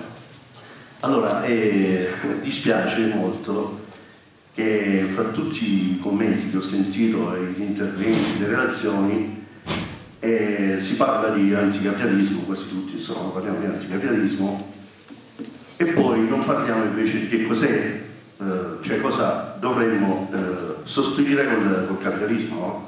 Eh, cioè, eh, Colombo, eh, che tu sei maestro, cioè il marxismo no? ci ha dato la questione del superamento del capitalismo all'interno delle società socialiste. Cioè, eh, quando Colombo dice eh, la Russia è fallita, il socialismo è fallito, mi spiace moltissimo che, che la prenda sotto questo tono, perché una grande esperienza dei vecchi paesi socialisti dei, dei, dei, dei primi del Novecento non può essere buttata via il bambino con l'acqua sporca. Noi dobbiamo prendere esempio forte, eh, maturo, cosciente di quello che è stata quell'esperienza, capire cosa, quali sono stati i limiti e gli errori per cui eh, quei paesi non hanno raggiunto e diciamo, continuato e realizzato il socialismo fino in fondo. Non possiamo assolutamente pensare che ci sia un altro capitalismo al capitalismo o il capitalismo dire, no? che già è morente, dire, già di per sé dire, no? ha raggiunto il suo massimo sviluppo, come diceva eh, Marx d'altronde, no? per cui cade, crolla e ci sta trascinando nella catastrofe, ci trascina nella catastrofe e in alternativa a questo non ci può essere altro che il socialismo, non ci sono storie, bisogna dircelo chiaramente perché abbiamo questa questione qua no? chimica quasi, di non parlare di socialismo e di non parlare più di Marx. Qua Marx è sparito, io non capisco perché è sparito Marx, è una cosa incredibile insomma. Perché non riprendere Marx e capire la società odierna partendo da quell'esperienza dei, dei, dei primi paesi socialisti? Grazie, grazie. Scusate io ti consiglio una cosa, leggi i libri di Sergio Latouche e avrai la risposta alle tue domande perché ne parla chiaramente, parla di socialismo, ma di un socialismo diverso dallo stalinismo e dalle altre forme totalitarie e opprimenti della libertà umana. Quindi ne parla, Sergio Lattucci è un socialista, è un egualitario, come lo sono io, ma non siamo stalinisti. Allora il prossimo intervento a Fabio Palma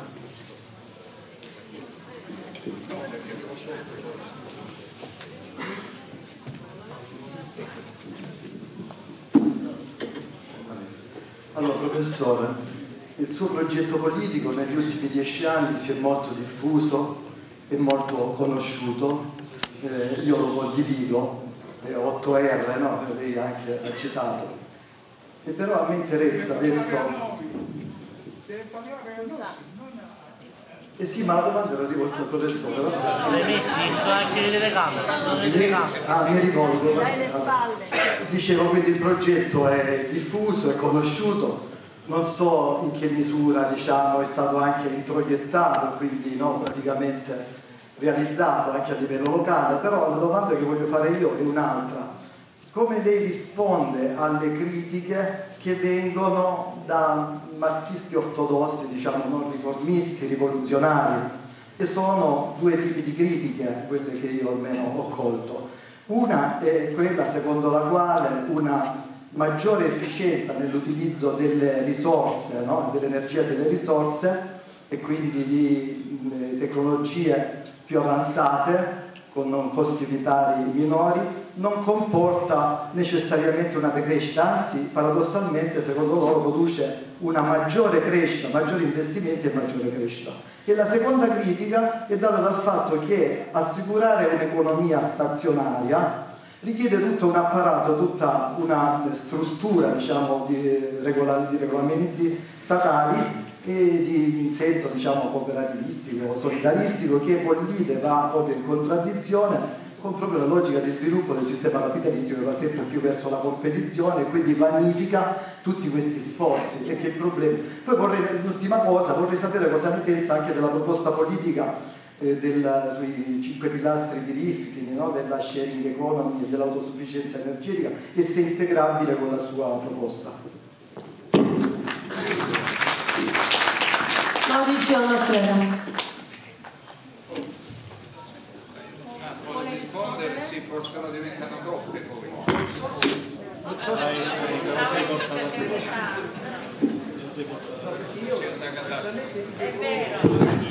Giustamente dice Colombo che bisogna rivolgersi al pubblico. Allora, non so se può essere utile. No, no, dopo il suo intervento risponde e poi magari vengono le altre dopo. Non so se può essere utile questa... Allora dobbiamo porre un limite, giustamente. Questa è l'ultima domanda. Non so se può essere utile, la mia non sarà una domanda, è una testimonianza.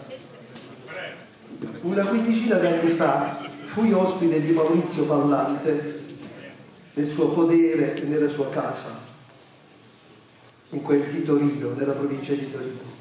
Maurizio e sua moglie a mezzogiorno mi diedero da mangiare porri, i porri di quelli grandi, ma in tutte le diversità, arrostiti, lessi. Mi spiegò 15 anni fa il concetto di decrescita felice. Dissi che me lo sarei portato questo concetto qui nel Salento, ma francamente non, non ci pensai più.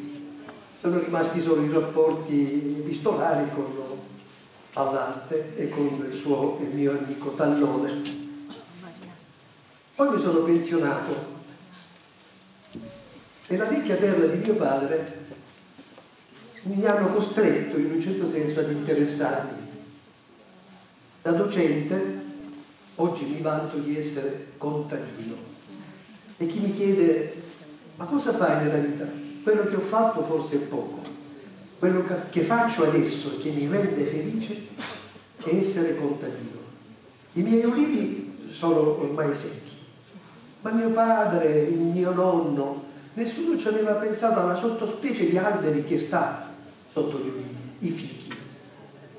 Ci sono 50 alberi di fichi. E cosa ho fatto? Ho allevato e quelli che non erano più considerati come un bene comune, io li ho allevati, li ho diciamo curati, da essi da circa 5 anni ne traggo il frutto, lo essicco, lo metto in dei vasetti e faccio felici 200 tra amici e amiche in tutta Italia.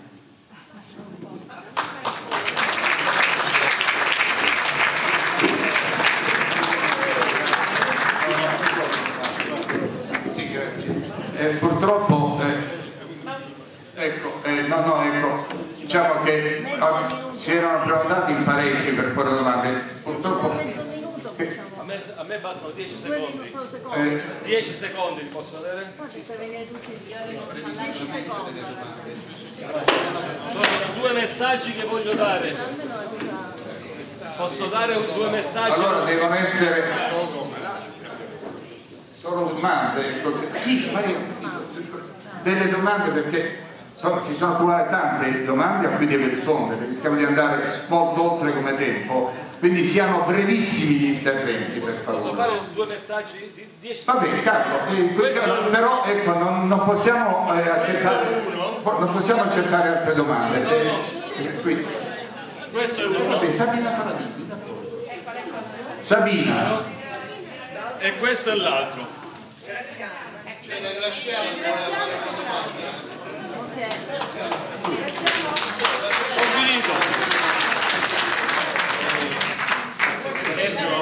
Ma Sabina...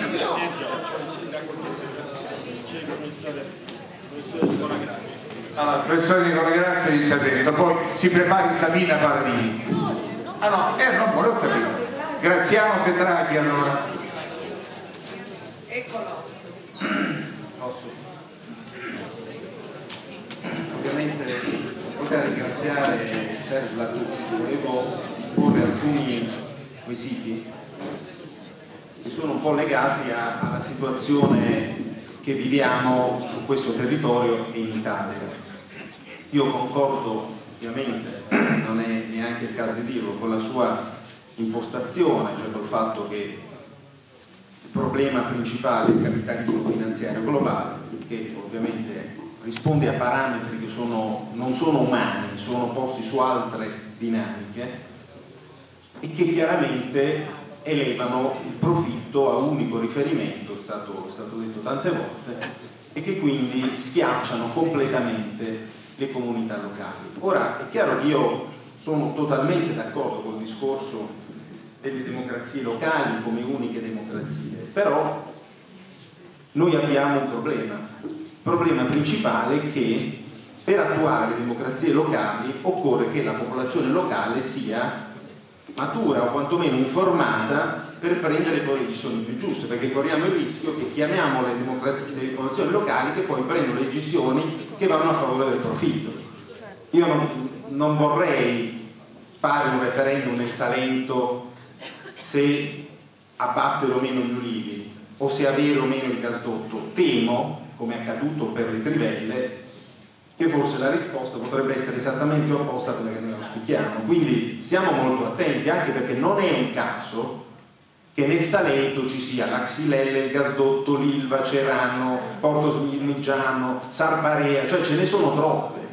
Evidentemente questo territorio, altro che parco, è stato selezionato per fare degli esperimenti sociali per capire l'effetto che fa creare nel territorio queste situazioni dove il profitto prevale chiaramente sulle esigenze territoriali e avere quindi questo risultato. Noi siamo delle voces clamantes in deserto, siamo un pochi a dire queste cose, ma abbiamo contro i giornali, la televisione, il pensiero comune che forma il senso comune.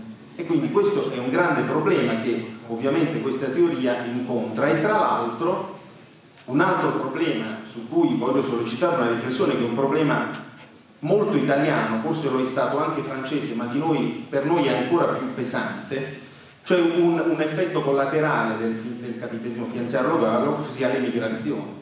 Noi qui stiamo avendo dei rigurgiti gravissimi, gravissimi di razzismo, di xenofobia, di fascismo ed è il caso di porre l'allarme su queste cose e non far finta di niente.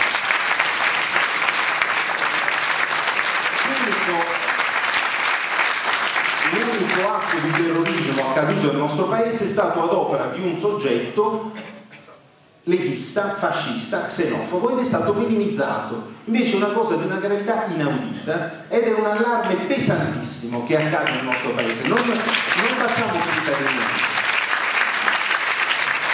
L'ultima cosa, ed è una cosa che mai avrei immaginato di dire nella mia vita, è che forse l'unica voce assonante, e su questo gradirei un parere, è quella del pontefice.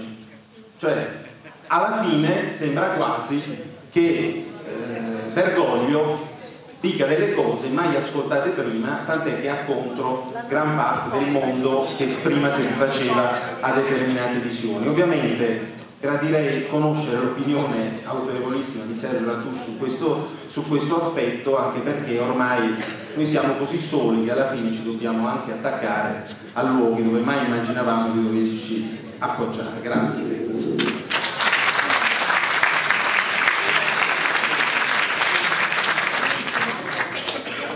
Sì, eh, Graziano Petrarchi. Però c'è da dire che abbiamo saputo adesso che alcuni vogliono eradicare 1500 alberi. Cercherò di essere, cercherò di essere conciso. Eh, nelle parole del professore Latouche io rienco una parola che non l'hanno mai nominata, eh, che era svegliamoci. E la stessa parola l'ho letta però alla fine di un discorso bellissimo, devo dire veramente, della dottoressa Migliore, dove diceva svegliamoci perché abbiamo steso in termini sanitari quanto più rispetto a quello che abbiamo risparmiato nella mancata applicazione normativa ambientale.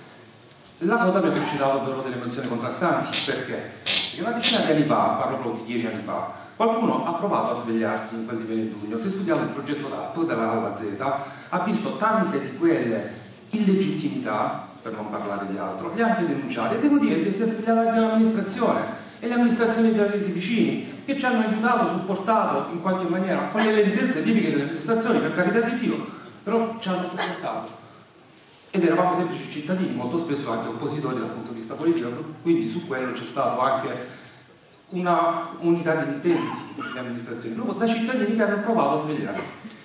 Nel 2014 abbiamo cominciato a denunciare le prime irregolarità, nel 2015, nel 2016. Molto spesso non abbiamo avuto risposta, le risposte sono state della serie 2015, l'ho proposta io, parlo di me, non parlo degli altri eh, avevano cominciato a trivellare un campo che era soggetto ad identificabilità assoluta perché è soggetta alla legge sugli incendi, la 353 del 2000. Eh, il dottore Negro ha archiviato dicendo eh, la trivellazione non è un lavoro. Poi abbiamo iniziato eventualmente l'inizio lavori Però Cataldo Motta ha detto che invece l'inizio dei lavori può essere fatto mediante la passeggiata di un archeologo. So- Sono rimasto basito, però non giudico, non dico nulla. Successivamente hanno cominciato a fare altri lavori quando c'è stata la zona rossa sulle aree incendiate. Abbiamo denunciato anche quello, siamo in attesa di risposta. È andata l'ARPA il giorno 9, la faccio brevissima, ha trovato inquinamento, l'ha denunciato, c'è un documento dell'ARPA del 9, abbiamo denunciato anche quello, in attesa di risposta. Finisco. A marzo lo denunciamo il fatto e non potevamo provare a fare gli spianti dopo il 28 di febbraio. Perché? Perché la via così prevedeva. Sono venuti a fare gli spianti il 18 di marzo ed è seguito. Quando poi si sono, hanno trasportato, era la notte del 3 luglio, tra l'altro il piano traffico firmato anche dalle diverse amministrazioni in conferenza dei previzi, prevedeva che non potessero trasportare di notte, quando i cittadini si sono opposti, si sono beccati 88 multe e le reprimende pure. Allora, atto che c'è un muro di gomma davanti, quello significa, comincia a spaventarmi nella parola, svegliamoci, perché ci si rende conto di essere soli. Allora, il lo svegliamoci del professore lo accetto, l'ho fatto pure io, però ricordatevi che costa, costa, costa tanto, ti fa piangere, perché si è soli.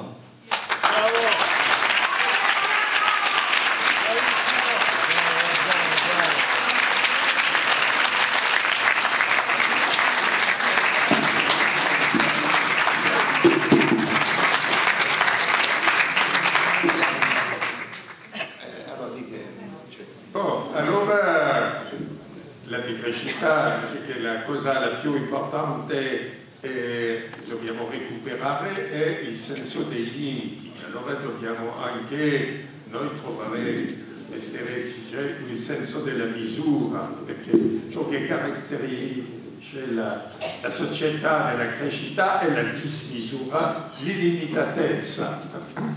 E già è già difficile, non posso pretendere di rispondere a tutto e a tutti. eh, in ogni modo la decrescita non ha la risposta a tutti i problemi perché il sistema ha, ha reso la situazione talmente complessa che è impossibile risolvere. Alcuni problemi sono isol- irrisolvibili risolvibili a- sia a livello locale che a livello regionale o nazionale. Per esempio il problema dell'immigrazione. Il problema dell'immigrazione è stato creato dalla colonizzazione, dall'occidentalizzazione del mondo, dalla globalizzazione che è un gioco di massacro su scala globale. Naturalmente questi, tutta questa gente che ora eh, non possono più sopravvivere nel loro paese dove dovrebbero teoricamente trovare il futuro sul posto se non avevamo distrutto il loro modo di vivere e continuiamo a distruggerlo. Basta pensare al land grabbing in Africa, questo fatto che si compra dei, dei pezzi giganteschi di- di terra africana per la speculazione. eccetera. Ma a livello locale è una cosa terribile perché questa immigrazione favorisce la guerra tra i poveri tra di loro, terribile, allora favorisce il fascismo, favorisce i movimenti razzisti. Naturalmente non abbiamo nessun diritto morale di cacciare questi poveri che abbiamo- siamo responsabili di questo.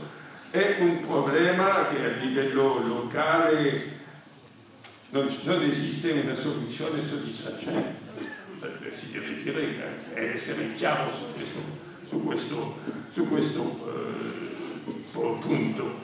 E tutti i problemi che sono sollevati più o meno vengono più o meno del fatto che alcuni hanno già sottolineati che eh, è molto più facile pensare il collasso che l'uscita dal capitalismo. Pensare il collasso l'hanno fatto bene come Diamond, per esempio, con il suo bestseller Collasso, o Joseph Tenter con eh, eh, Collapse of Complex Societies o altri ancora, eh, Naomi Orestes nel suo libro Il collasso della società occidentale.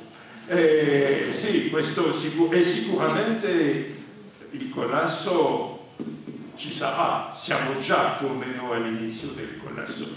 E il problema è, e, questa è la sfida della decrescita, come sopravvivere al, al collasso, come limitare il collasso, come gestire il collasso al meglio a livello.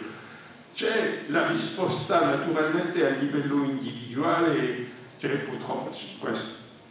Eh, ognuno, ognuno può trovare una, una forma di, di, risposta, un piano B, come dice l'amico Luca Mercalli, che ha fatto nel suo bel libro Prepariamoci. Luca Mercalli spiega che lui ha fatto il suo piano B, fa come il signore che eh, ha ritrovato dopo quando è, andata, è andato in pensione e coltivare il suo giardino, trovare una forma di, felicità e di rendere anche altri felici. Sì. Questo eh, vale a livello, altro livello non è, non è, non è facile eh, perché anche si deve dire che siamo, siamo diventati tossicodipendenti del, del sistema. Eh, si è parlato della tossicodipendenza del cellulare, plastica, eccetera, e, e questo eh, e, liberarsi dalla tossicodipendenza è un problema quasi psicoanalitico, una cura di, e si può fare a tutti.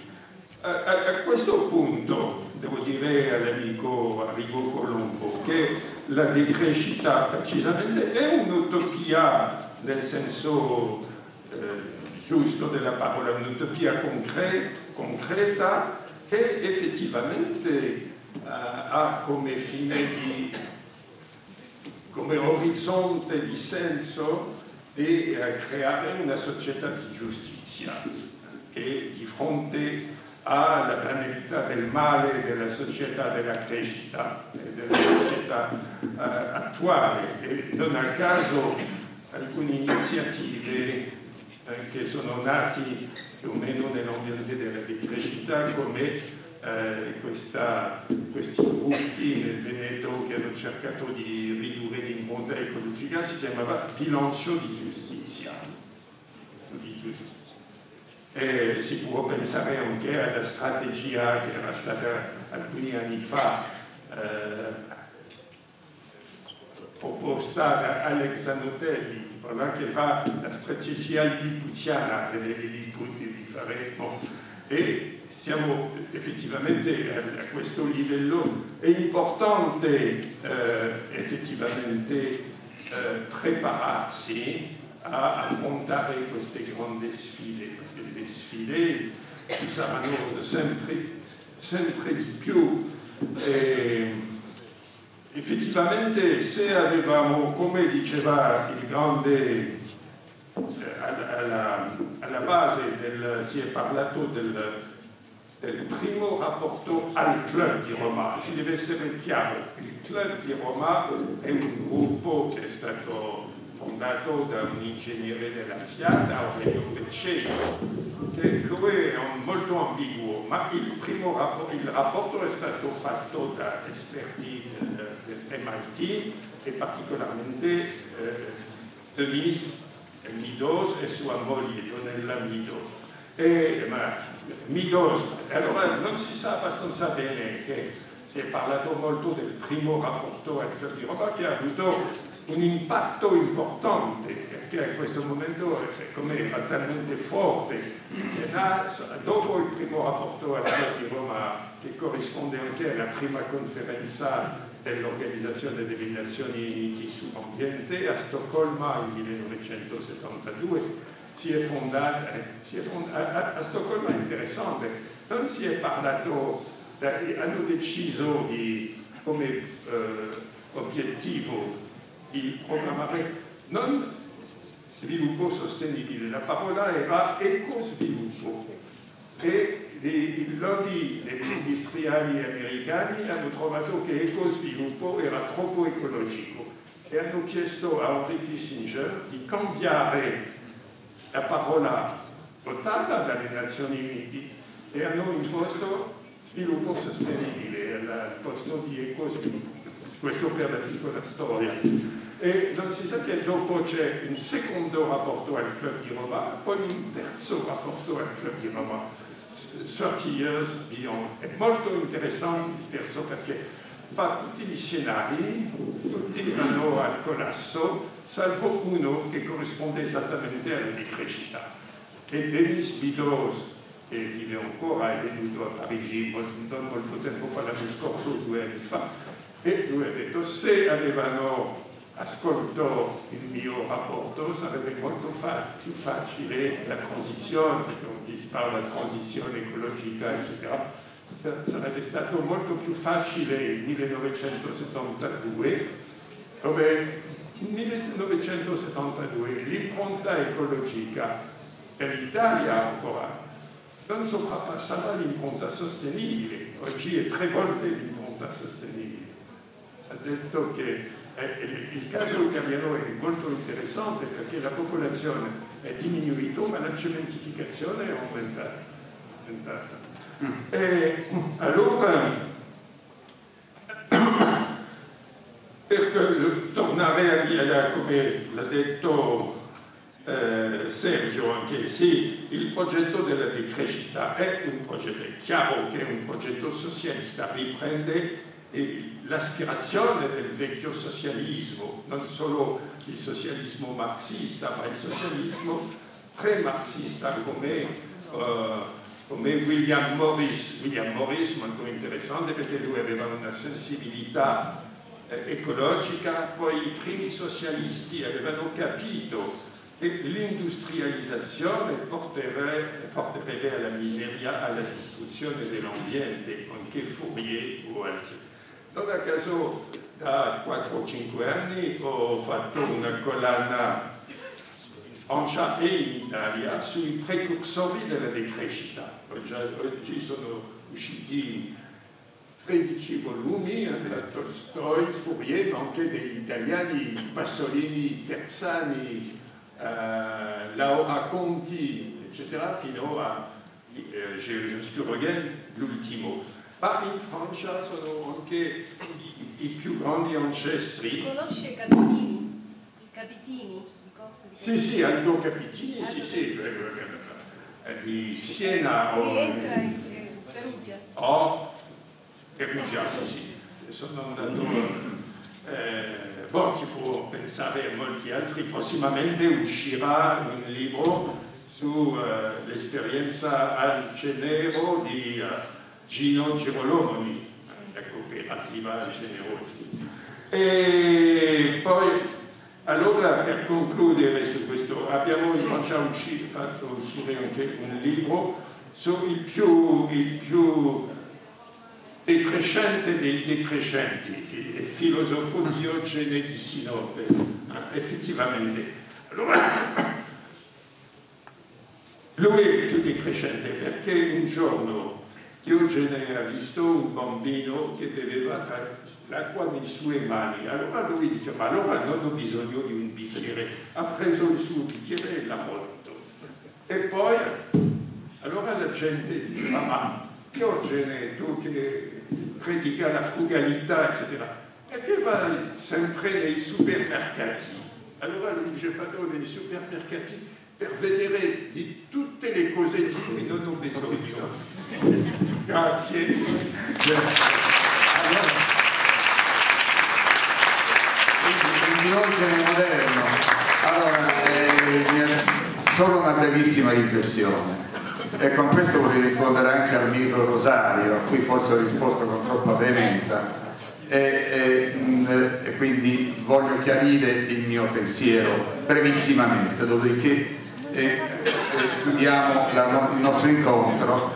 Eh, la decrescita, eh, Sergio smentiscimi se sbaglio, ma dalla lettura delle tue opere si evince chiaramente, io sono assolutamente d'accordo, ero un decrescente prima ancora di incontrare Sergio Latouche, eh, che affida ad ognuno di noi la responsabilità politica, storica di uscire dal capitalismo. Con le nostre azioni quotidiane dobbiamo uscire dal capitalismo, diventare liberi, avviarsi sulla strada della decrescita, che significa la strada della libertà, dell'autodeterminazione. È un impegno gravosissimo.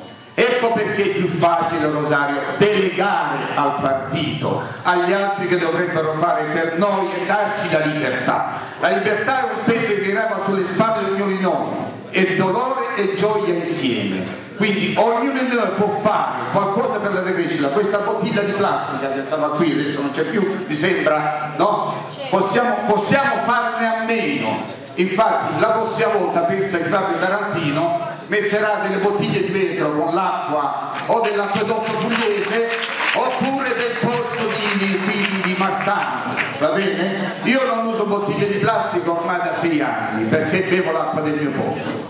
Va bene? Questo è un atto di decrescita. Eh, allora, ad ognuno di noi la responsabilità del futuro storico. L'umanità può avere, può avere un futuro solo se ogni singolo si farà carico della sua responsabilità storica di fronte al futuro. Vi ringrazio, vi ringrazio, vi ringrazio soprattutto Sergio Latouche per l'incontro eccezionale che ci ha consentito stasera. Grazie. Rest- Restiamo ovviamente per la sinicurta e, e- e per il bicchiere di vino. Grazie. Sì, c'è questo momento conviviale e per cui abbiamo anche fame a questo punto sarà quanto mai opportuno. Grazie ancora a tutti.